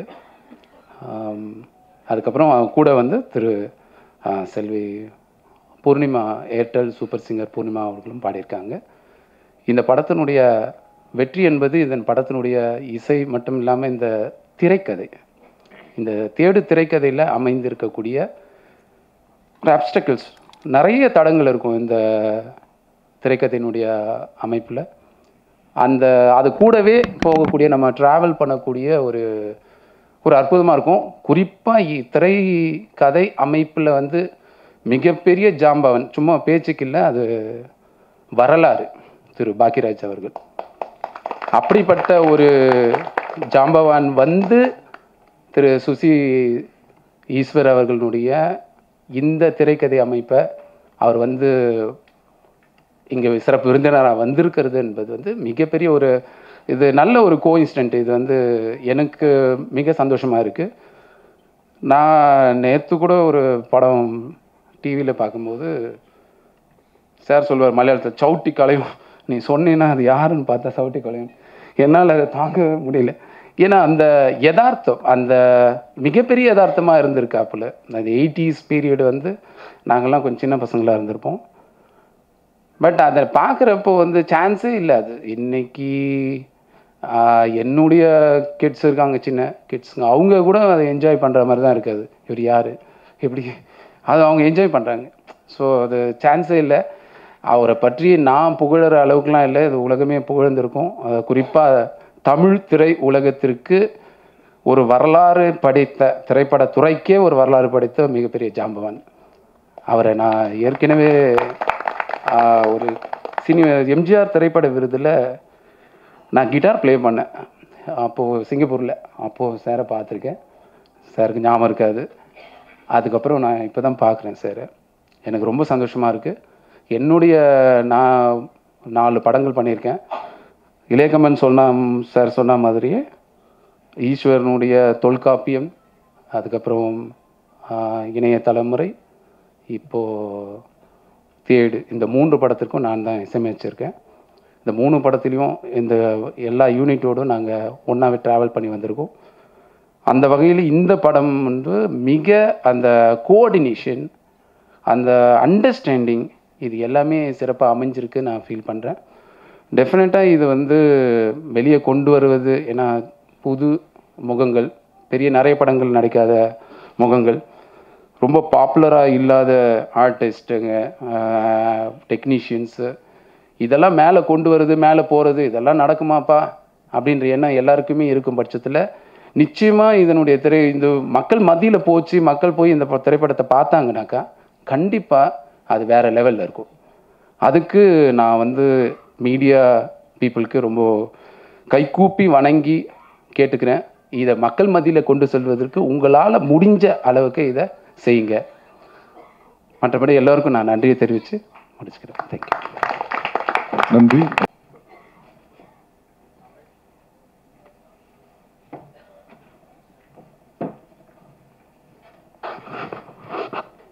இந்த விழாவிற்கு வருகை இருந்திருக்கும் அனைத்து திரையுலக நண்பர்களுக்கும் மற்றும் இங்கே வருகை வந்து இங்கே இந்த படத்தினை கண்டுகளித்து கொண்டிருக்கும் அனைவருக்கும் நன்றியை தெரிவித்து கொண்டு இந்த படம் ஒரு மிக சிறந்த வெற்றியை அடைய வேண்டும் என்ற ஒரு ஆசை எனக்கு நிறைய இருக்கின்றது.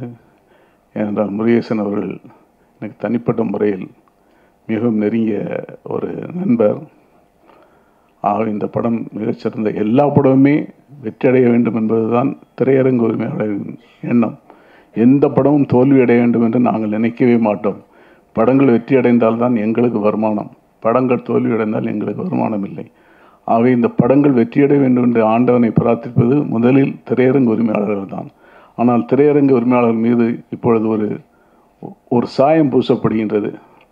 அருமை சகோதரர் பேரரசு கூட கூறினார் திரையரங்கள் ஒதுக்கப்பட வேண்டும் கிடைக்க வேண்டும் என்று. அதில் உள்ள யதார்த்தத்தை நீங்கள் புரிந்து கொள்ளாமல் பேசுகின்றீர்கள் என்று ரொம்ப வருத்தமாக இருக்கின்றது.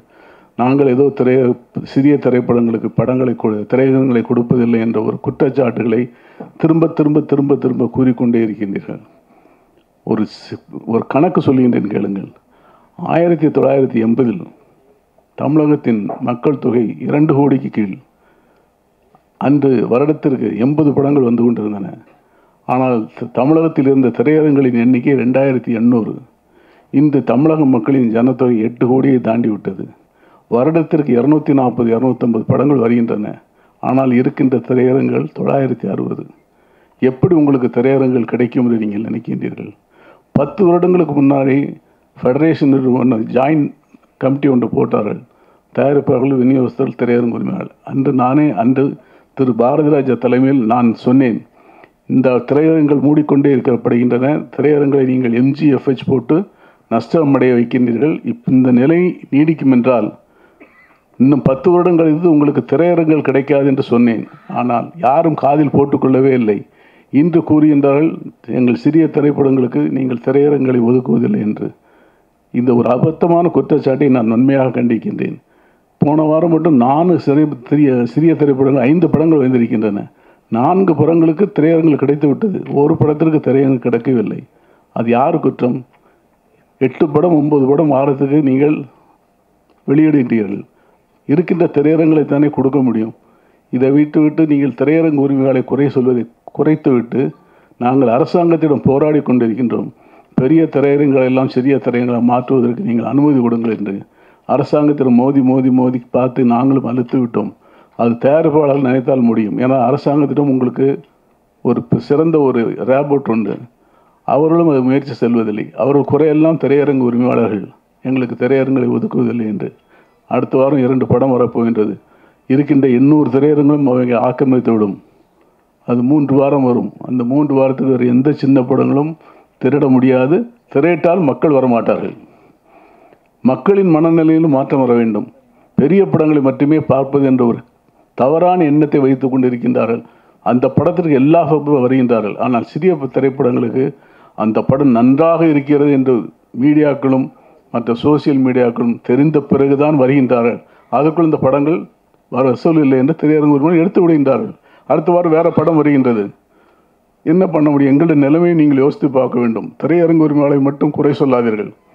யதார்த்தத்தை உணர்ந்து கொண்டு திரையரங்களின் எண்ணிக்கை அதிகரிப்பதற்கு நாம் என்ன செய்ய வேண்டும் பார்த்தால் மட்டும்தான் நானூறு படங்கள் திரையிடுவதற்கு ரெடியாக இருக்கின்றன. திரையிட முடியாமல். அதையெல்லாம் தீர்க்க வேண்டும் என்றால் திரையரங்கள் எண்ணிக்கை கூட வேண்டும். திரையரங்கள் எண்ணிக்கை கூடினால்தான் அனைத்து திரைப்படங்களும் உங்களுக்கு திரையரங்குகள் கிடைக்கும். நீங்கள் திரையரங்கு உரிமையாளரை தயவு செய்து குறை சொல்லாதீர்கள். எங்களின் நிலைமை எங்களுக்கு தான் தெரியும். எங்களுக்கு யாரையும் நாங்கள் பாகுபாடு பார்ப்பதில்லை. எல்லா படங்களும் நெற்றி அடைய வேண்டும். சிறிய திரைப்படங்கள் வெற்றி பெற்றால் திரையரங்கு உரிமையாளருக்கு வருமானம் ஜாஸ்தி. ஏனென்றால் பெரிய திரைப்படங்களுக்கு எழுபத்தைந்து சதவீதம் தாங்கள் தயாரிப்பாளர் கொடுத்து விடுகின்றோம். ஆனால் சிறிய திரைப்படங்களுக்கு ஐம்பது சதவீதம் கொடுப்போம். எது லாபம்? இதைத்தான் நாங்கள் விரும்புகின்றோம். சிறிய படங்களை திரையிடுவது தான் நாங்கள் விரும்புகின்றோம். ஆனால் சந்தர்ப்பங்கள் முடிவதில்லை. ஆகவே நீங்கள் அந்த இதை விட்டுவிட்டு திரையரங்குகள் அதிகமாக வருவதற்கு உள்ள வழியை பார்க்க வேண்டும் என்று இந்த படம் மிக சிறந்த வெற்றி அடைந்து அடுத்து வெற்றி விழா சிவகாசி முருகேசன் அவர்கள் நடத்தும் போது நாங்கள் எல்லோரும் வந்து அவரை வாழ்த்த வேண்டும் என்று வேண்டி விரும்பி கேட்டுக்கொண்டு விடைவினை நன்றி வணக்கம். திரு பன்னீர்செல்வம் சார் அவர்களுக்கு தயாரிப்பாளர் செந்தமணி தயாரிப்பாளர் முருகேசன் அவர்கள்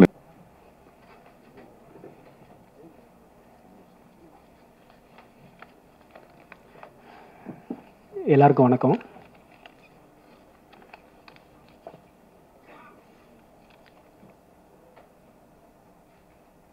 உண்மையிலே நான் ரொம்ப சந்தோஷமாகவும் ரொம்ப உற்சாகமாகவும் இருக்கேன். சொல்ல வார்த்தைகளே இல்லை. பாருங்க நான் கூட ஏதாவது. ஏன்னா சின்ன வயசில் அதுக்கு முன்னால் இந்த படத்தினுடைய எனக்கு வாய்ப்பு கொடுத்த தயாரிப்பாளர் சிவகாசி முருகேசன் சார் அவர்களுக்கு முதல்ல நன்றி சொல்லணும். ஏன்னா இப்பேற்பட்ட வாய்ப்பு வந்து எல்லாருக்கும் அமையாது. எனக்கு அமைஞ்சிருக்கு. அதுக்கு முதல்ல நான் நன்றி சொல்லிக்கிறேன். சின்ன வயசில் எனக்கு மகாத்மா காந்தியை படித்த உடனே என்னடா இவரை பற்றியே எல்லோரும் பெருசாக பேசுகிறாங்க அவர் அவ்வளோ பெரிய மனிதராக இவ்வளோ பாப்புலராக இவ்வளோ பெருமையாக பேசுகிறாங்களே ஓ அப்பா எவ் இவர் ரூபா நோட்டையெல்லாம் அவர் சிரிச்சுக்கிட்டு இருக்கிறாரு. அப்போ எவ்வளோ பெரிய ஆள்? இவர் மாதிரி புகழ் பெற்றா இவர் மாதிரி பெறணும்டா அப்படிங்கிற மாதிரி மனசு சொல்லிச்சு. அப்புறம் அவருடைய சத்திய சோதனையை படித்த உடனே ஆஹா புஷ்னாகி போச்சு. இது நமக்கு வேலைக்காகாது கஷ்டம். அப்படின்னோடனே இப்போ என்னடா பண்ணுறதுன்னு பார்த்தா அப்படியே போயிட்டு இருக்கும்போது மகாத்மா காந்தியை பற்றியே உயர்வாக பேசுவாங்க எப்பவுமே புரட்சி தலைவர். அவரை பா அவரை பற்றி அவருடைய வாழ்க்கை வரலாறு அவருடைய விஷயங்கள்லாம் படித்து வரும்பொழுது சா சார் புரட்சி தலைவர் மாதிரி வரணுமியா. அவர் மாதிரி புகழ் பெறணும். அப்படின்னு நினச்சிக்கிட்டு இருந்தேன் அப்புறம் அவருடைய நிறமும் அவருடைய அழகும் அதெல்லாம் நமக்கெல்லாம் ஒத்து வருமா? அவர் எந்த ரேஞ்சில் இருக்கிறாரு அது வேலைக்கு ஆகுது அப்படின்ட்டு அப்படி இருக்கும்போது பார்த்தோம்னா அவருக்கு ஒரு வாரிசு இருக்கிறதா அப்புறம் கொஞ்சம் தகவல் தெரிஞ்சுது. கொஞ்சம் சின்ன வயசில் நான் எல்லாமே சின்ன வயசில் சொல்கிறேன் உடனே அப்புறம் யார் வாரிசுன்னு பார்த்தா கலையுலக வாரிசு அப்படின்ற மாதிரி இது பண்ணோன்னே யாருன்னு பார்த்தா என்னுடைய ஆசான் திரு பாக்யராஜ் சார் அவர்களுடைய அவர் தான் கலையுலக வாரிசு அப்படின்னே அப்போ அவருடைய படங்களாக பார்க்க ஆரம்பிச்ச உடனே பார்த்தீங்கன்னா சாரும் கண்ணாடி போட்டிருக்காரு நானும் கண்ணாடி போட்டிருக்கேன்னா கொஞ்சம் ஒல்லியாக இருக்கிறது அந்த வைத்தியராக நடிச்சிருப்பாங்க அந்த இதுல எல்லாம் அது பார்த்தோன்னே பரவாயில்ல கிட்டத்தட்ட கொஞ்சம் மேட்ச் ஆகுது. எம்ஜிஆர் புரட்சி தலைவர்லாம் எங்கேயோ இருக்கிறாங்க அவனும் நம்ம முடியாது. சார் கொஞ்சம் நம்ம உடல் வாகு எல்லாமே ஒத்து வருது. அப்போ சார் மாதிரி வரணும்டா ஒரு டைரக்டராக அதே என்ன நான் ஹீரோ ரெண்டுமே சேர்ந்து வரணும்டா. அவர் மாதிரி வரணும்ட்டு அவர் படங்களை ஐம்பது தடவை நூறு தடவை பார்க்குறது. திரும்ப திரும்ப பார்க்குறது. பார்த்து ரொம்ப ரசித்து ரசித்து பார்த்து அப்போ ரொம்ப பிடிச்சி போச்சு. அப்போ சார் மேலே ஒரு மிகப்பெரிய ஒரு லவ் பண்ண ஆரம்பிச்சிட்டேன்னு வச்சுக்கோங்களேன். அப்படி ஒரு ஒரு இது வந்துருச்சு. அப்போ அப்போ அவருடைய அவர் சார் எழுதின திரைக்கதை புத்தகம் பார்த்தேன் பார்த்தேன். அவர் என்னென்னா வாங்க சினிமா பற்றி பேசலாம் அப்படின்னு ஒரு புத்தகம். அது படித்தோடனே எனக்கு என்னமோ திரைக்க முழுசாக எல்லாமே கற்றுக்கிட்ட மாட்டாங்கிற மாதிரி மைண்டு போயிடுச்சு ஆனாலும் சார் வந்து பயங்கர சகலகலா வல்லவன். ஏன்னா எல்லாமே இசையமைக்க தெரியும் சாருக்கு பாடல் எழுத தெரியும். பார்த்தீங்கன்னா முந்தான முடிச்சில் பார்த்தீங்கன்னா சிலம்பாட்டம் இது பண்ணுவாங்க. இப்படி எல்லா கலைகளும் கற்றுக்கிட்டு அப்போ தலைவர் வந்து எல்லா கலைகளும் கற்றுக்கிட்டு தான் இருந்திருக்கிறாங்க. அப்போ நம்மளும் எல்லாத்தையும் கற்றுக்கிடணும்னு சொல்லிட்டு நான் அந்த சின்ன வயசில் பார்த்தீங்கன்னா கராத்தே கும்பு சிலம்பு Bharatanatyam diploma in film acting diploma in direction typewriting முதக்கொண்டு எல்லாம் தெரிஞ்சுக்கிட்டு வந்துடணும்னு சொல்லிட்டு படித்தேன் இதெல்லாம் இப்போ அடிப்படை பேசிக் பூராமல் படித்தேன் பேசிக் பூரா படிச்சுட்டு சார்கிட்ட போய் எப்படி சேர்ந்துடணும்னா ஏதாவது ரெக்கமெண்டேஷன் வேணுமான்ட்டு எங்கள் ஸ்ரீவலிபுத்தூரில் ஐயா எம்எல்ஏ தாமரைக்கணி ஐயா இருந்தாங்க. அவர்கிட்ட காலைல விழுந்து ஐயா எனக்கு ரெக்கமெண்ட் பண்ணணுன்னே ஒரு லெட்டர் எழுதி கொடுத்தாங்க.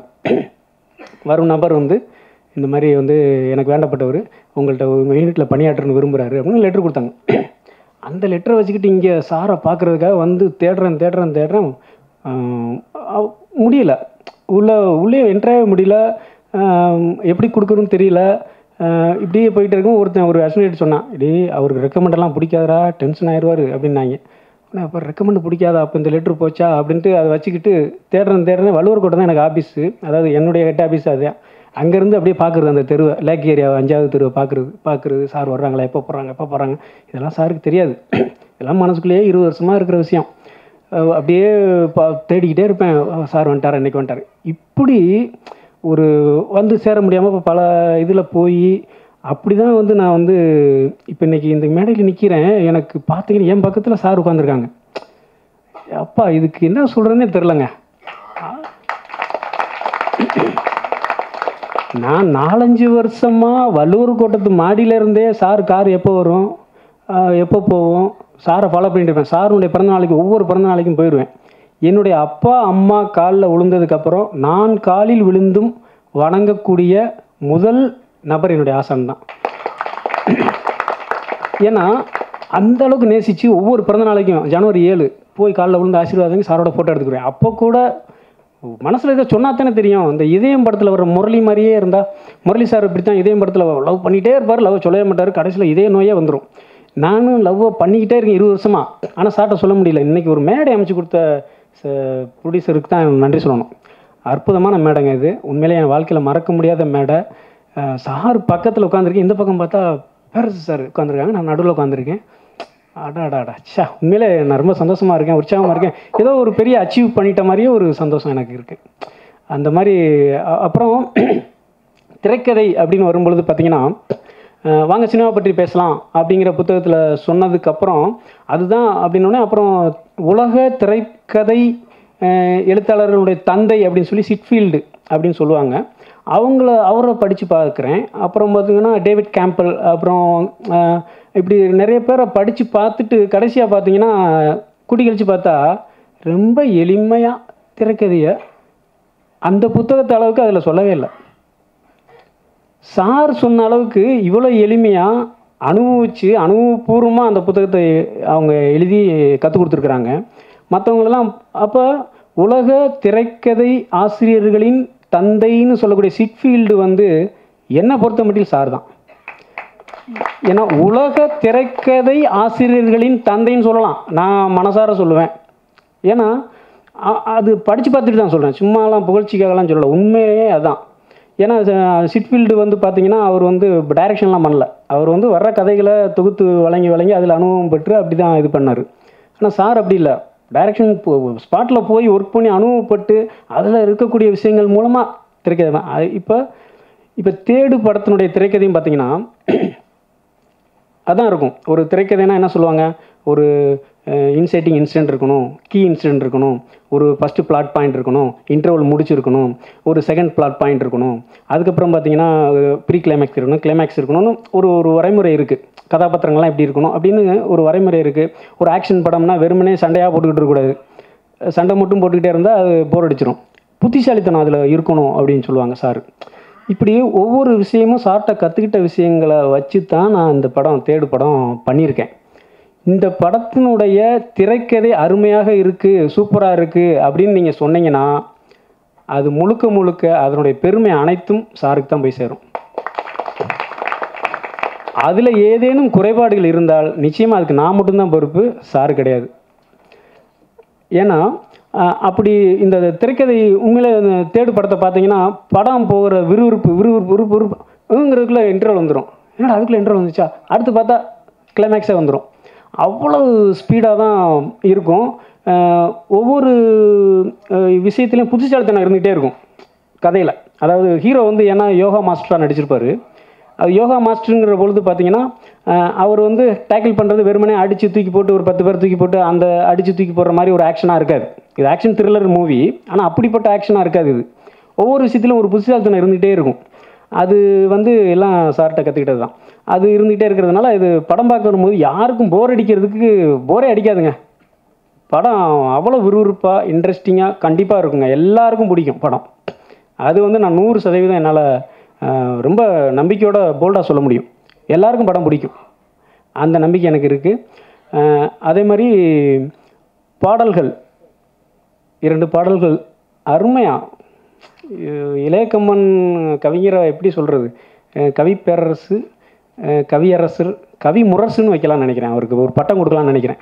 கவி முரசு இளைய கம்பன் அப்படி ரசிச்சு எப்படி என்ன வரிகள் பாருங்களேன். அதாவது ஒரு நூ ஒரு நூறு ஜென்மம் வாழ்வேன் உன்னோடு உன்னை நீங்கி போனால் போவேன் மண்ணோடு. இதாங்க கதை. அந்த காதலை அழகாக சொல்லிட்டார் ரெண்டு வரியில். இது இந்த இந்த வரிகளை தான் கிளைமேக்ஸில் வச்சுருப்பேன். அவ்வளோ அருமையாக என்னுடைய கவிஞர் ஆஸ்தான என்னுடைய அரசவை கவிஞர் அவர். எப்பயுமே அவர் தான் நமக்கு பாடல் பாடல் எழுதுறது. அருமையாக கொடுத்தேன் டிஜே கோபிநாத் இசை அமைப்பாளர் ஆஹா என்னுடைய தோழர் அவர். அவரை போட்டு வெண்டை கலட்டி அவரை ஐயா விட்டுருங்கிற அளவு பண்ணி ஒரு வழியாக அவர்கிட்ட வாங்கிட்டேன். அந்த திறமையான ஆளுங்க. அவர் சாதாரணமாக நினச்சிடாதீங்க. இசைஞானியிலேருந்து ஏஆர் ரஹ்மான் சார்லேருந்து எல்லார்கிட்டையும் அவர் இருந்து வந்தவர் அவர். சின்ன வயசுலேருந்தே அவர் இசையமைப்பாளராக இருந்து வந் வளர்ந்து வந்தவர் அவர். அவர் பெரிய ஆசிரியர். பார்க்குறதுக்கு சின்ன பையமாக இருக்கிறாரு. ஆனால் அவர் பெரிய டீச்சர் அவர். சாதாரணமான ஆள் அவர். அவ்வளோ இசைஞானம் உள்ளவர் அவர். அவர் நிச்சயமாக வெற்றி பெறுவீங்க. சார் நீங்கள் கண்டிப்பாக வெற்றி பெறுவீங்க தோழர். இந்த பாடல்கள் இரண்டுமே ரொம்ப அருமையாக வந்திருக்கு. அப்புறம் என்னுடைய படத்தில் பணியாற்றின அத்தனை பேருமே மிக அற்புதமாக பணியாற்றியிருக்கிறாங்க. இப்போ உதாரணத்துக்கு பார்த்தீங்கன்னா இப்போ எஸ்ஆர் முருகன் இந்த ஒவ்வொருத்தரையுமே நான் இப்போ கூப்பிட போகிறேன் மேடைக்கு கூப்பிட்டு அவங்கள கௌரவிக்க தான் போகிறேன் எல்லாருக்கும் மனசில் ஓடிக்கிட்டு இருக்கும். என்னடா நம்மளை கூப்பிடலையேன்ற ஒரு ஃபீல் இருக்கும். காமராஜர் சார்லாம் கொஞ்சம் ஃபீல் பண்ணுறாருன்னு நினைக்கிறேன். என்னை மேடையில் உட்கார வைக்கலான்னு. கவலை கவலைப்படாதீங்க சார். நாங்கள் இந்த மேடையில் உட்கார வைக்கிற விஷயத்துக்கே நிறைய டிஸ்கஸ் பண்ணோம் நிகில் சார்கிட்ட அதில் முடியாமல் போச்சு. வருத்தப்படாதீங்க. கண்டிப்பாக உங்களை இப்போ எல்லாரையுமே கூப்பிட்டு நாங்கள் மேடையில் கௌரவிப்போம். அதனால் இந்த படத்தை ஏன் பார்க்கணும்? எதுக்கு நான் நூறுரூவா கொடுத்து இந்த படத்தை ஏன் பார்க்கணும்? இந்த படத்துக்கு நான் எதுக்கு வரணும்? அப்படி என்ன இருக்குதுல்ல. இருக்குது சார். நீங்கள் நூறுரூவா கொடுத்தா அதுக்குண்டான ஒரு ரசிக்கிற மாதிரியான விஷயங்கள் இதில் கண்டிப்பாக இருக்குது சார். அது அத்தனை விஷயமும் அதில் இருக்குது. என்னோடய ஆசான் கற்றுக் கொடுத்ததை நான் அழகாக இதில் ப்ரெசென்ட் பண்ணியிருக்கிறேன். அதை நீங்கள் பார்த்துட்டு சொல்லுங்கள் மற்றபடி என்னுடைய என்னுடைய இப்போ தொழில்நுட்ப கலைஞர்கள் எனக்கு உதவி செஞ்ச அத்தனை பேரையும் இப்போ நான் மேடைக்கு அழைச்சி கௌரவிக்கலாம்னு நினைக்கிறேன். அதுக்கு முன்னால் நான் முதல் படம் பண்ணது வந்து தொல்காப்பியன். அந்த படத்தினுடைய தயாரிப்பாளரும் இங்கே வந்திருக்கிறாங்க. அவங்க கடைசி நேரத்தில் வந்ததுனால என்னை என்னால் சீட்டு ஒதுக்க முடியல. ஐயா எஸ்விஎஸ் வைரவன் ஐயா வந்து வந்திருக்காங்க. ஐயா வணக்கம்யா ஐயா. தான் வந்து எனக்கு முதல் பட வாய்ப்பு கொடுத்தாங்க. தொல்காப்பியன் பட வாய்ப்பு கொடுத்ததே ஐயா தான். ஐயா சாதாரணமானவங்க இல்லை. என்ன சொல்கிறது ஐயா உட்காருங்க உட்காருங்க உட்காருங்க உட்காருங்க. முதல் பட வாய்ப்பு கொடுத்து எனக்கு ஒரு என்னை பா ஒரு பையனாக பார்க்குறவங்க ஐயா முதலே தெரிஞ்சிருந்தா மேடையில் உட்கார வச்சுருப்பேன். ஐயா மன்னிச்சிருங்க. இப்போ முதல் படம் வாய்ப்பு கொடுத்தாங்க. இணையத்திலமுறை இரண்டாவது படம். இப்போ தேர்டு படம் பண்ணியிருக்கிறேன். என்னுடைய அனுபவங்கள் அத்தனையுமே சேர்த்து வச்சு பண்ணியிருக்கிறேன். ஏன்னா சிறு முதலீட்டு படம் அப்படிங்கிறது தான் அதில் உள்ள புதுமுகங்கள் அப்படிங்கிறது மட்டும்தான் நீங்கள் உங்களுக்கு அதுவாக தெரியும். ஆனால் முதல் சீன் ரெண்டு சீன் முடிஞ்சு மூணாவது சீனு சிவனாண்டியாக அந்த கேரக்டர் வருவார். நம்ம வில்லனாக நடிச்சிருக்கிறாங்க நம்ம ப்ரொடியூசரு.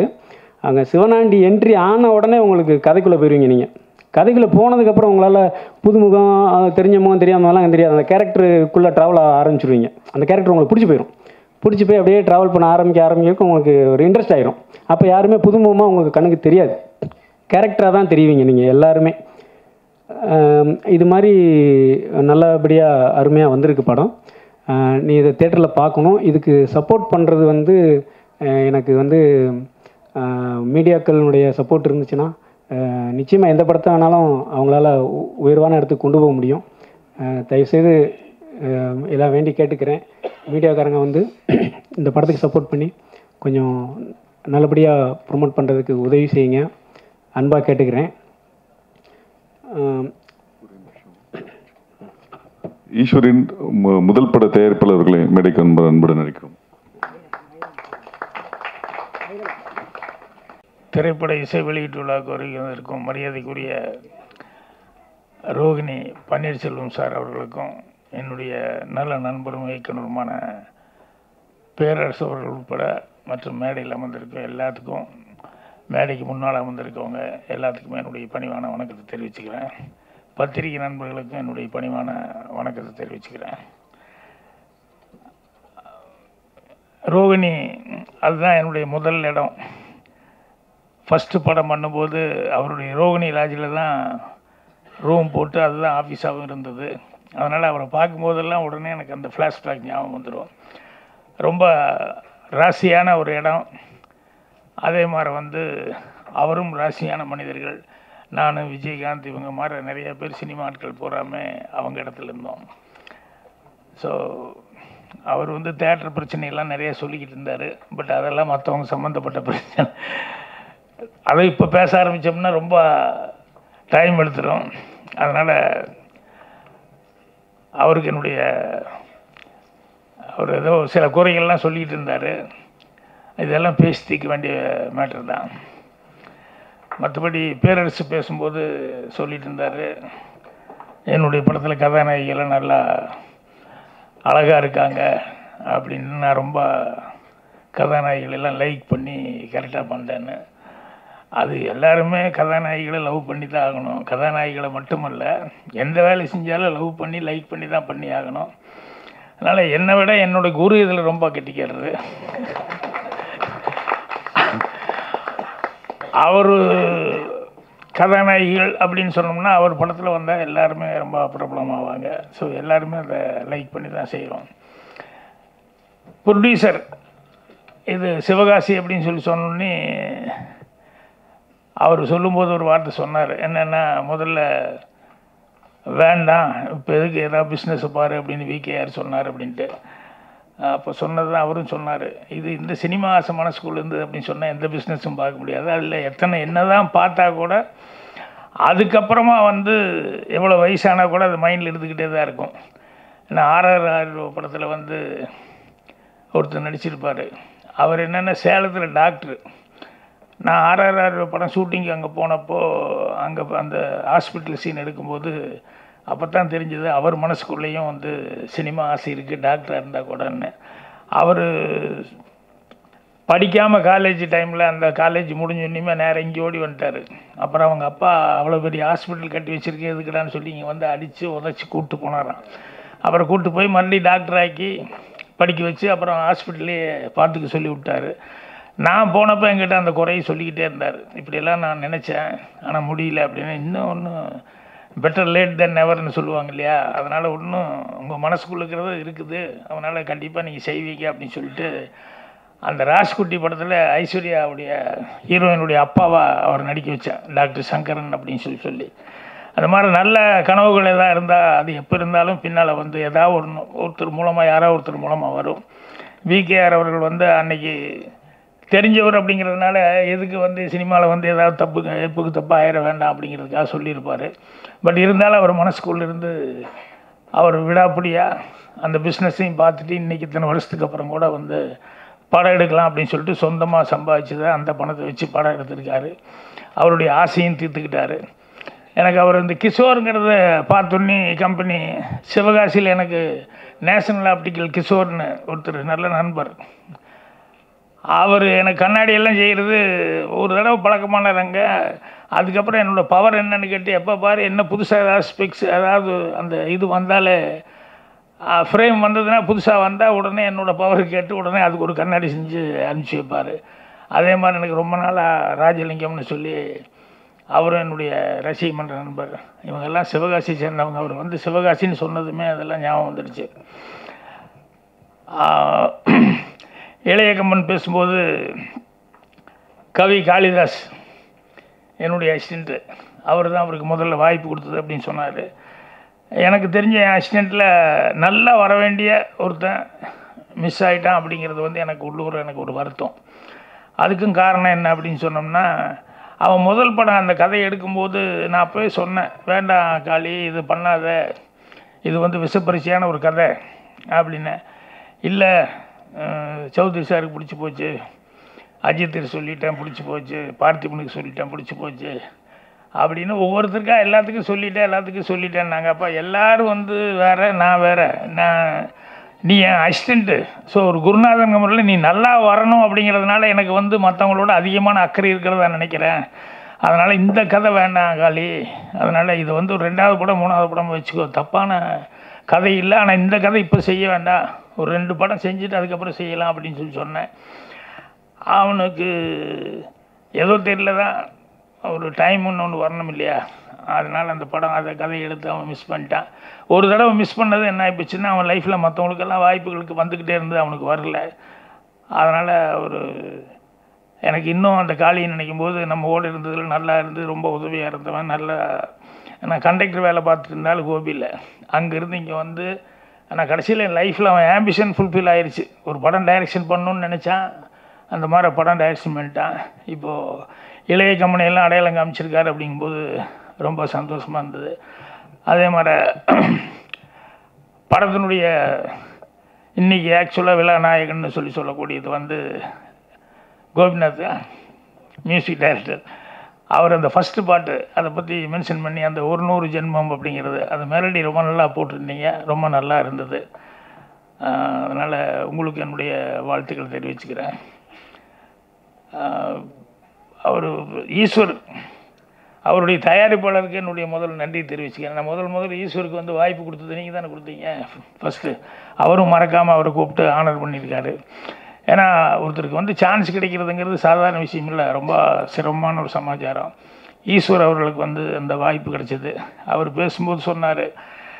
என்ன சி சிட்ஃபீல்டா ஆமாம் சிட்ஃபீல்டு அப்புறம் வேறு ஏதோ அதை கேம்பிள் நல்லா சொன்னார். இவங்களெல்லாம் எனக்கு உண்மையிலே தெரியாது. நான் வந்து இங்கே இப்போ பசங்களுக்கெல்லாம் ஸ்டூடெண்ட்ஸுக்கெல்லாம் பாஃப்டாவில் வந்து கிளாஸ் எடுக்க போகும்போது அப்போ தான் அங்கே லைப்ரரியில் வந்து வச்சுருக்காங்க அப்படின்னு சொன்னேன். ஏன்னா இவர் சிட்ஃபீல்டு புக்கு இது இந்த புக்கு அது அந்த புக்கு அப்படின்னாங்க. புஸ்தகத்தை கண்ணில் பார்த்துக்கிட்டேன் அவ்வளோதான் மற்றபடி இதை படிக்க கூட நான் முயற்சி பண்ணல. ஏன்னா நான் படித்தது ஜனங்க உங்ககிட்ட இருந்தால் நான் படிச்சுக்கிட்டேன். ஸோ இப்போவும் ஈஸ்வருக்கெல்லாம் சொல்கிறேன் புஸ்தகம் எழுதுறத வந்து வச்சுக்கிட்டு அதை தெரிஞ்சுக்கோங்க தப்பு இல்லை. ஆனால் நம்ம கற்றுக்க வேண்டியது ஜனங்கக்கிட்ட தான் இருக்குது மக்கள்கிட்ட மக்களோட மக்களாக ஒன்றாக பழகிட்டு இருந்தோம்னா அதில் கிடைக்காத கேரக்டர்ஸ் அதில் எல்லாம் சிட்ஃபீல்டில் சரி பாக்யராஜ் எழுதினாலும் சரி எனக்கு சில கேரக்டர்ஸ் தான் கிடைச்சிருக்கும் ஒழிய எல்லா கேரக்டரும் கிடைக்கும் அப்படின்னு சொல்லி சொல்ல முடியாது. அதனால் சினிமாவில் திரைக்கதை எழுதுறதுக்கு அதுக்கெல்லாம் வந்து அனுபவங்கள் லைஃப் அனுபவங்கள் அப்படிங்கிறது தான் அதுதான் ரொம்ப முக்கியம். அந்த அனுபவங்கள் எப்பவுமே இருக்கணும். அதனால் ஈஸ்வர் அவர்கள் வந்து அந்த புஸ்தகமெல்லாம் நான் படித்தேன் அப்படின்னு சொன்னேன் என்கிட்ட வர்றதுக்காக எவ்வளோ முயற்சி பண்ணேன் அப்படிங்கிறதெல்லாம் சொன்னார். ஸோ அவருடைய திரைக்கதை எப்படி இருக்குங்கிறது படமாக பார்க்கல. அப்புறம் மியூசிக் டைரக்டர் சொன்னதை வச்சு ஒரு சின்ன ஹோப் கிடச்சிருக்கு. என்னென்னா ப்ரொடியூசர் வந்து ஃபஸ்ட் டைம் வந்து இந்த படம் பண்ணியிருக்காரு. அவர் வந்து கண்டிப்பாக ஜெயிக்கணும். என்னென்னா எத்தனை வருஷ போராட்டத்துக்கு அப்புறம் வந்து மனசுக்குள்ளேயே அந்த ஆசையை வச்சுக்கிட்டு இருந்து என்றைக்காவது இப்படி இருந்தாலும் ஒரு தடவை நம்ம இது படத்தில் வந்தாகணும் அப்படின்னு சொல்லும்போது அந்த கை காசு போட்டு அவர் வந்து அந்த படத்தை ப்ரொடியூஸ் பண்ணி பண்ணியிருக்காரு. ஸோ அதனால் அவர் வெற்றி பெற்றாருன்னா இன்னும் நிறையா ஈஸ்வர மாதிரி நிறைய பேர்களுக்கு வந்து வாய்ப்பு கிடைக்கும். நிறைய பேர் வந்து சினிமாவில் வந்து அவரை வச்சு பிழைக்கிறதுக்கான வாய்ப்பு இருக்குது ஸோ நல்ல ஆளுங்க கிடைக்கிறதுங்கிறது சினிமாவுக்கு ரொம்ப கஷ்டம். அந்த மாதிரி ஆட்கள் கிடைச்சிருக்காங்க. அதே மாதிரி இந்த தேர்டு டைட்டில் கூட பேரரசு அவர்கள் தேடை பற்றி நிறைய சொல்லிக்கிட்டு இருந்தார். தேடுங்கிறது வந்து என்ன அப்படின்னா கடைசி வரைக்குமே தேடிக்கிட்டே தான் இருக்கணும். எதுவுமே வந்து தேடாமல் எதுவுமே இல்லை. கடைசி வரைக்கும் அதாவது க வயசே பத்தாது அப்படின்னு சொல்லுவாங்க. எந்த வயசில் வேணாலும் கற்றுக்கிட்டே இருக்கலாம் அப்படின்னு சொல்லிட்டு அதுக்கு வயசு கிடையாது அப்படிம்பாங்க. அந்த தேடுறதும் அதே மாதிரி வந்து ஒரு பசிக்கு கூட ஒரு விஷயம் சொல்லுவாங்க. எனக்கு அது ரொம்ப பிடிச்சது. என்னென்னா ஒருத்தர் வந்து இந்த வாழ்வீச்சல் ரொம்ப கெட்டிக்கார ஒரு இளவரசன். அவன் ஒரு நாள் ட்ரெயின் பண்ணிகிட்டு இருக்கும்போது ஒரு எலி குறுக்க போயிடுச்சு தடால்னு அதை போட்டு டப்புன்னு வெட்டிடலான்னு சொல்லி அதை வந்து சேஸ் பண்ணி சேஸ் பண்ணி ஓடுறான். அதை வெட்டவே முடியல அவனால். அது தப்பிச்சு தப்பிச்சு இப்படி ஓடிடுச்சு. அவனுக்கு ரொம்ப அப்செட் ஆகிட்டான் அப்போ அப்பா வந்தார். ராஜா என்னடான்னாரு ஒரு எலியை வந்து இது பண்ண முடியல. நான் என்ன ஸ்வாடு ஃபைட் பண்ணி என்ன பிரயோஜனம்? அது ஒரு பெரிய மேட்ரு இல்லைடா அப்படின்னு சொல்லிட்டு அந்த எலியை வந்து பிடிக்கிறதுக்கு வந்து அவர் அரண்மனை பூனையை கொண்டு வந்தார். அதை கொண்டு வந்து விட்டு பார்த்தாரு. அதுவும் பிடிக்க முடியல. அது தப்பிச்சு போயிடுச்சு அதுக்கப்புறம் பாரசீகம் இங்கே ஒன்று பெரிய ஃபேமஸான ஊர்கள்லாம் இருக்குமில்ல அங்கே இருந்தெல்லாம் பூனைகளை கொண்டு வந்து அதை வச்சு பார்த்தாரு. எந்த பூனையுமே பிடிக்க முடியல. கடைசியில் வந்து சிப்பாய் பார்த்துக்கிட்டே இருந்தேன் அதெல்லாம். ஐயா எனக்கு ஒரு ரெண்டு நாள் டைம் கொடுங்க. நான் அந்த எலியை பிடிச்சிட்றேன். அதை கொண்டுடுறேன் அப்படின்னு. என்னடா ரெண்டு நாள் டைம் கேட்குறேன் ஆமாம் ரெண்டு நாள் கொடுங்க அப்படின்னு. அப்புறம் ரெண்டு நாள் கழித்து அப்புறம் பார்த்தா அவன் ஒரு பூனையை கொண்டு வந்தான். அவன் வீட்டு பூனை. அதை விட்டா டபக்குன்னு போய் பிடிச்சிருச்சு அது. அப்புறம் அது ஒரே ஆச்சரியம். என்னடா இத்தனை பாரசீக பூனை அந்த பூனை இந்த பூனை எல்லாம் அரண்மனை பானை பிடிக்க முடியும். உன் பூனை எப்படிடா பிடிச்சதுன்னா இல்லை ரெண்டு நாள் டைம் என்ன பசியோடு வச்சுருந்தேன் அதை. ரெண்டு நாள் பட்டினி போட்டோன்னே அது பசியில் கப்புன்னு போய் பிடிச்சிருச்சு. அப்படின்னா. இல்லை லைஃப்பில் எல்லாமே பசியோடு இருக்கணும். எல்லா விஷயத்துக்குமே பசியோடு இருந்தோம்னா அந்த சக்ஸஸ் அப்படிங்கிறத வந்து அந்த மாதிரி எல்லா விஷயத்துலையும் பசியோடு இருந்தோம்னா அந்த சக்ஸஸ் வந்து ரீச் பண்ண முடியும். ஸோ புஸ்தகங்கள் படிக்கிறது அது இதுங்கிறதெல்லாம் வந்து அதனால எல்லாம் அந்த உபயோகம் இல்லை. நம்ம மனசுக்குள்ளே வந்து அந்த ஃபீலிங் இருந்துக்கிட்டே இருக்கணும். அது மாதிரி இந்த ஈஸ்வர் பேசும்போதெல்லாம் எனக்கு அதே தான் மைண்டுக்கு திருப்பி திருப்பி வந்தது. அவர்கிட்ட இருக்கிற ஆக்சிடெண்ட்டுகளை பற்றி எல்லாத்தையும் ஆனர் பண்ண அவர்கிட்ட ரொம்ப பிடிச்ச விஷயம் என்கிட்ட சொல்லிட்டு இருந்தார். ஐயோ படத்தில் வேலை பார்த்தவங்க நிறைய பேர். யாரையுமே என்னால் கூப்பிட முடியலையே அப்படி இப்படின்னு சொல்லி இல்லை இல்லை பரவாயில்ல ஒவ்வொருத்தரையும் கூப்பிடுங்க கூப்பிட்டே ஆனர் பண்ணலாம். உட்கார வைக்கிறது கஷ்டம். ஏன்னா ஸ்டில் எடுக்கும் போதே ஃபீல் பண்ணார். நான் சொன்னேன் ஸ்டில் எடுக்கிறது இத்தனை பேர்த்தையும் கூப்பிட முடியாது. ஆனால் அதுக்கப்புறமா வந்து ஒவ்வொருத்தையாக கூப்பிடலாம் அப்படின்னு. ஸோ அவருடைய கடமையை வந்து அவர் ஃபுல்ஃபில்லாக நல்லபடியாக செஞ்சுருக்காரு. ஸோ அவருடைய நல்ல மனசுக்கு அவருடைய நல்ல உழைப்புக்கு அதுக்கு தகுந்த மாதிரி படம் சக்ஸஸ்ஃபுல்லாக வரணும் அப்படின்னு சொல்லி இது பண்ணிக்கிறேன். அதே மாதிரி அவருக்கு எல்லாருமே வாழ்த்துறதுக்காக வந்திருக்கேன். நிறைய பேர் புதுசாலாம் நடிச்சிருக்காங்க பிள்ளைக்கு படத்தில். அப்புறம் கதையில் ஒன்று சொன்னாங்க எனக்கு புரியல. மேகனா மாற ஹீரோயின் வந்து காணாமல் போகுதுன்னு சொல்லி சொன்னாங்க. ஹீரோயின் காணாமல் போயிட்டு எப்படி நல்லா இருக்கும் படத்தில்? ஹீரோயின் இருக்கணும். ஹீரோயின் ஏன் காணாமல் போச்சு? கொஞ்சம் சீன் தான் காணாமல் போச்சா? ஏன்னா படம் பார்க்குறது ஃபுல்லாக ஹீரோயின் தானே பார்த்துட்டு இருப்போம். சஞ்சயும் இவங்களும் வந்தால் பார்க்கலாம் கொஞ்ச நேரம் பிரபாகரில் கொஞ்சம் நேரம் பார்க்கலாம். அதுக்கப்புறம் ஹீரோயின் வராமல் வெறும் சஞ்சய் பிரபாகரே வந்துக்கிட்டு இருந்தால் எப்படி? பத்தாவதுக்கு வில்லன் அவர் வேற வந்திருக்காரு ஈஸ்வரன். அவர் வந்து அவரும் வந்துட்டு இருந்த அந்த ஈஸ்வரன் இவர். முருகேசன் அவர்கள். அதனால் இந்த படத்தில் வந்து ஹீரோயின் அப்படிங்கிறது வந்து ரொம்ப இம்பார்ட்டண்ட்டு அதில் அந்த இவங்க வந்து கேரளாக்காரங்களாக இருந்தால் கூட தமிழ் நல்லா தான் பேசுகிறாங்க சுத்தமாக பேசுனாங்க அதனால் அவர் இவரும் வந்து குறைப்பட்டுக்கிட்டார் சஞ்சய் எனக்கு கேரளா அப்படி இப்படின்னு சொல்லி சொல்லிட்டு எல்லோரும் எல்லா பாஷையும் இங்கே கற்றுக்கிட்டு இருந்தவன் யாரும் புதுசாக ஒன்றும் இது இல்லை. அதனால் கற்றுக்கணும்னு ஆசை இருந்ததுன்னு சொன்னால் யார் வேணால் கற்றுக்கிட்டு இது பண்ணலாம். ஸோ இந்த படத்தில் யங்ஸ்டர்ஸ் எல்லாமே நடிச்சிருக்காங்க. எல்லாத்துக்கும் என்னுடைய வாழ்த்துக்களை தெரிவிச்சுக்கிறேன். மீண்டும் ப்ரொடியூசர் நல்லபடியாக வளரணும் ஏன்னா ஒரு ப்ரொடியூசர் வளர்ந்தாருன்னா அது மூலமாக பல பேர் வளர்கிறதுக்கான வாய்ப்பு இருக்குது. அவருக்கு கிடைச்ச வாய்ப்பை ஈஸ்வர் நல்லபடியாக பயன்படுத்தியிருப்பார்னு நினைக்கிறேன். ஸோ டோட்டல் டீம் நிகில் இங்கே அவர்? ஓப்பனிங்லேயே வந்து நிகில் உண்மையிலேயே ஓப்பனிங்கில் அவர் வந்தார். அவருடைய உழைப்பு வந்து அது தெரியுது. ஏன்னா எங்கூட பாக்கியாவில் வந்து முதல் முதல்ல பாக்கியா ஆரம்பிக்கும் போது வந்து அங்கே வந்து வேலைக்கு சேர்ந்தவர். அப்புறம் அப்படியே அங்கே இருந்து அப்படி அப்படியே கொஞ்சம் கொஞ்சமாக கொஞ்சம் கொஞ்சமாக ஆகி அப்புறம் என்ன டாப் டு இதுன்னு சொல்லுவாங்கள்ல பாட்டம்னு சொல்லி சினிமாவை பற்றி எல்லாமே தெரிஞ்சிருக்காரு. அதனால் நானும் பேரரசு போட்ட மாதிரி ஃபஸ்ட்டு ஷாக் ஆன மாதிரி முதல் தடவை ஒன்று போட்டோன்னே நானும் ஷாக் ஆகிட்டேன் என்னடா இது படம் வித்தியாசமாக என்னமோ கம்ப்யூட்டர் கம்ப்யூட்டர் எல்லாம் வருது அப்படின்னு பார்த்தா அப்புறம் ஒரு புன்னையோடு அப்படி ஒரு இன்னும் படத்தில் நடிக்கணும்னு லேசாக இருக்குன்னு நினைக்கிற நீங்கள் அதுக்கு ஆள் பிடிச்சிட்டியா? வெளியே போயிருக்காரா நிகில் உன் நல்லா இந்த மாதிரி ஃபங்க்ஷன் எல்லாம் வந்து உண்மையிலேயே சிரமம் இது சிர சிரத்தையோடு அவர் வந்து கரெக்டாக பண்ணக்கூடிய ஆள். ஃபங்க்ஷனையும் நல்லபடியாக பண்ணியிருக்காரு. ஸோ வந்தவங்க எல்லாத்துக்கும் என்னுடைய வாழ்த்துக்கள் தெரிவிச்சுக்கிறேன். படம் வெற்றியடைய என்னுடைய வாழ்த்துக்கள் தெரிவிச்சுக்கிறேன். நன்றி.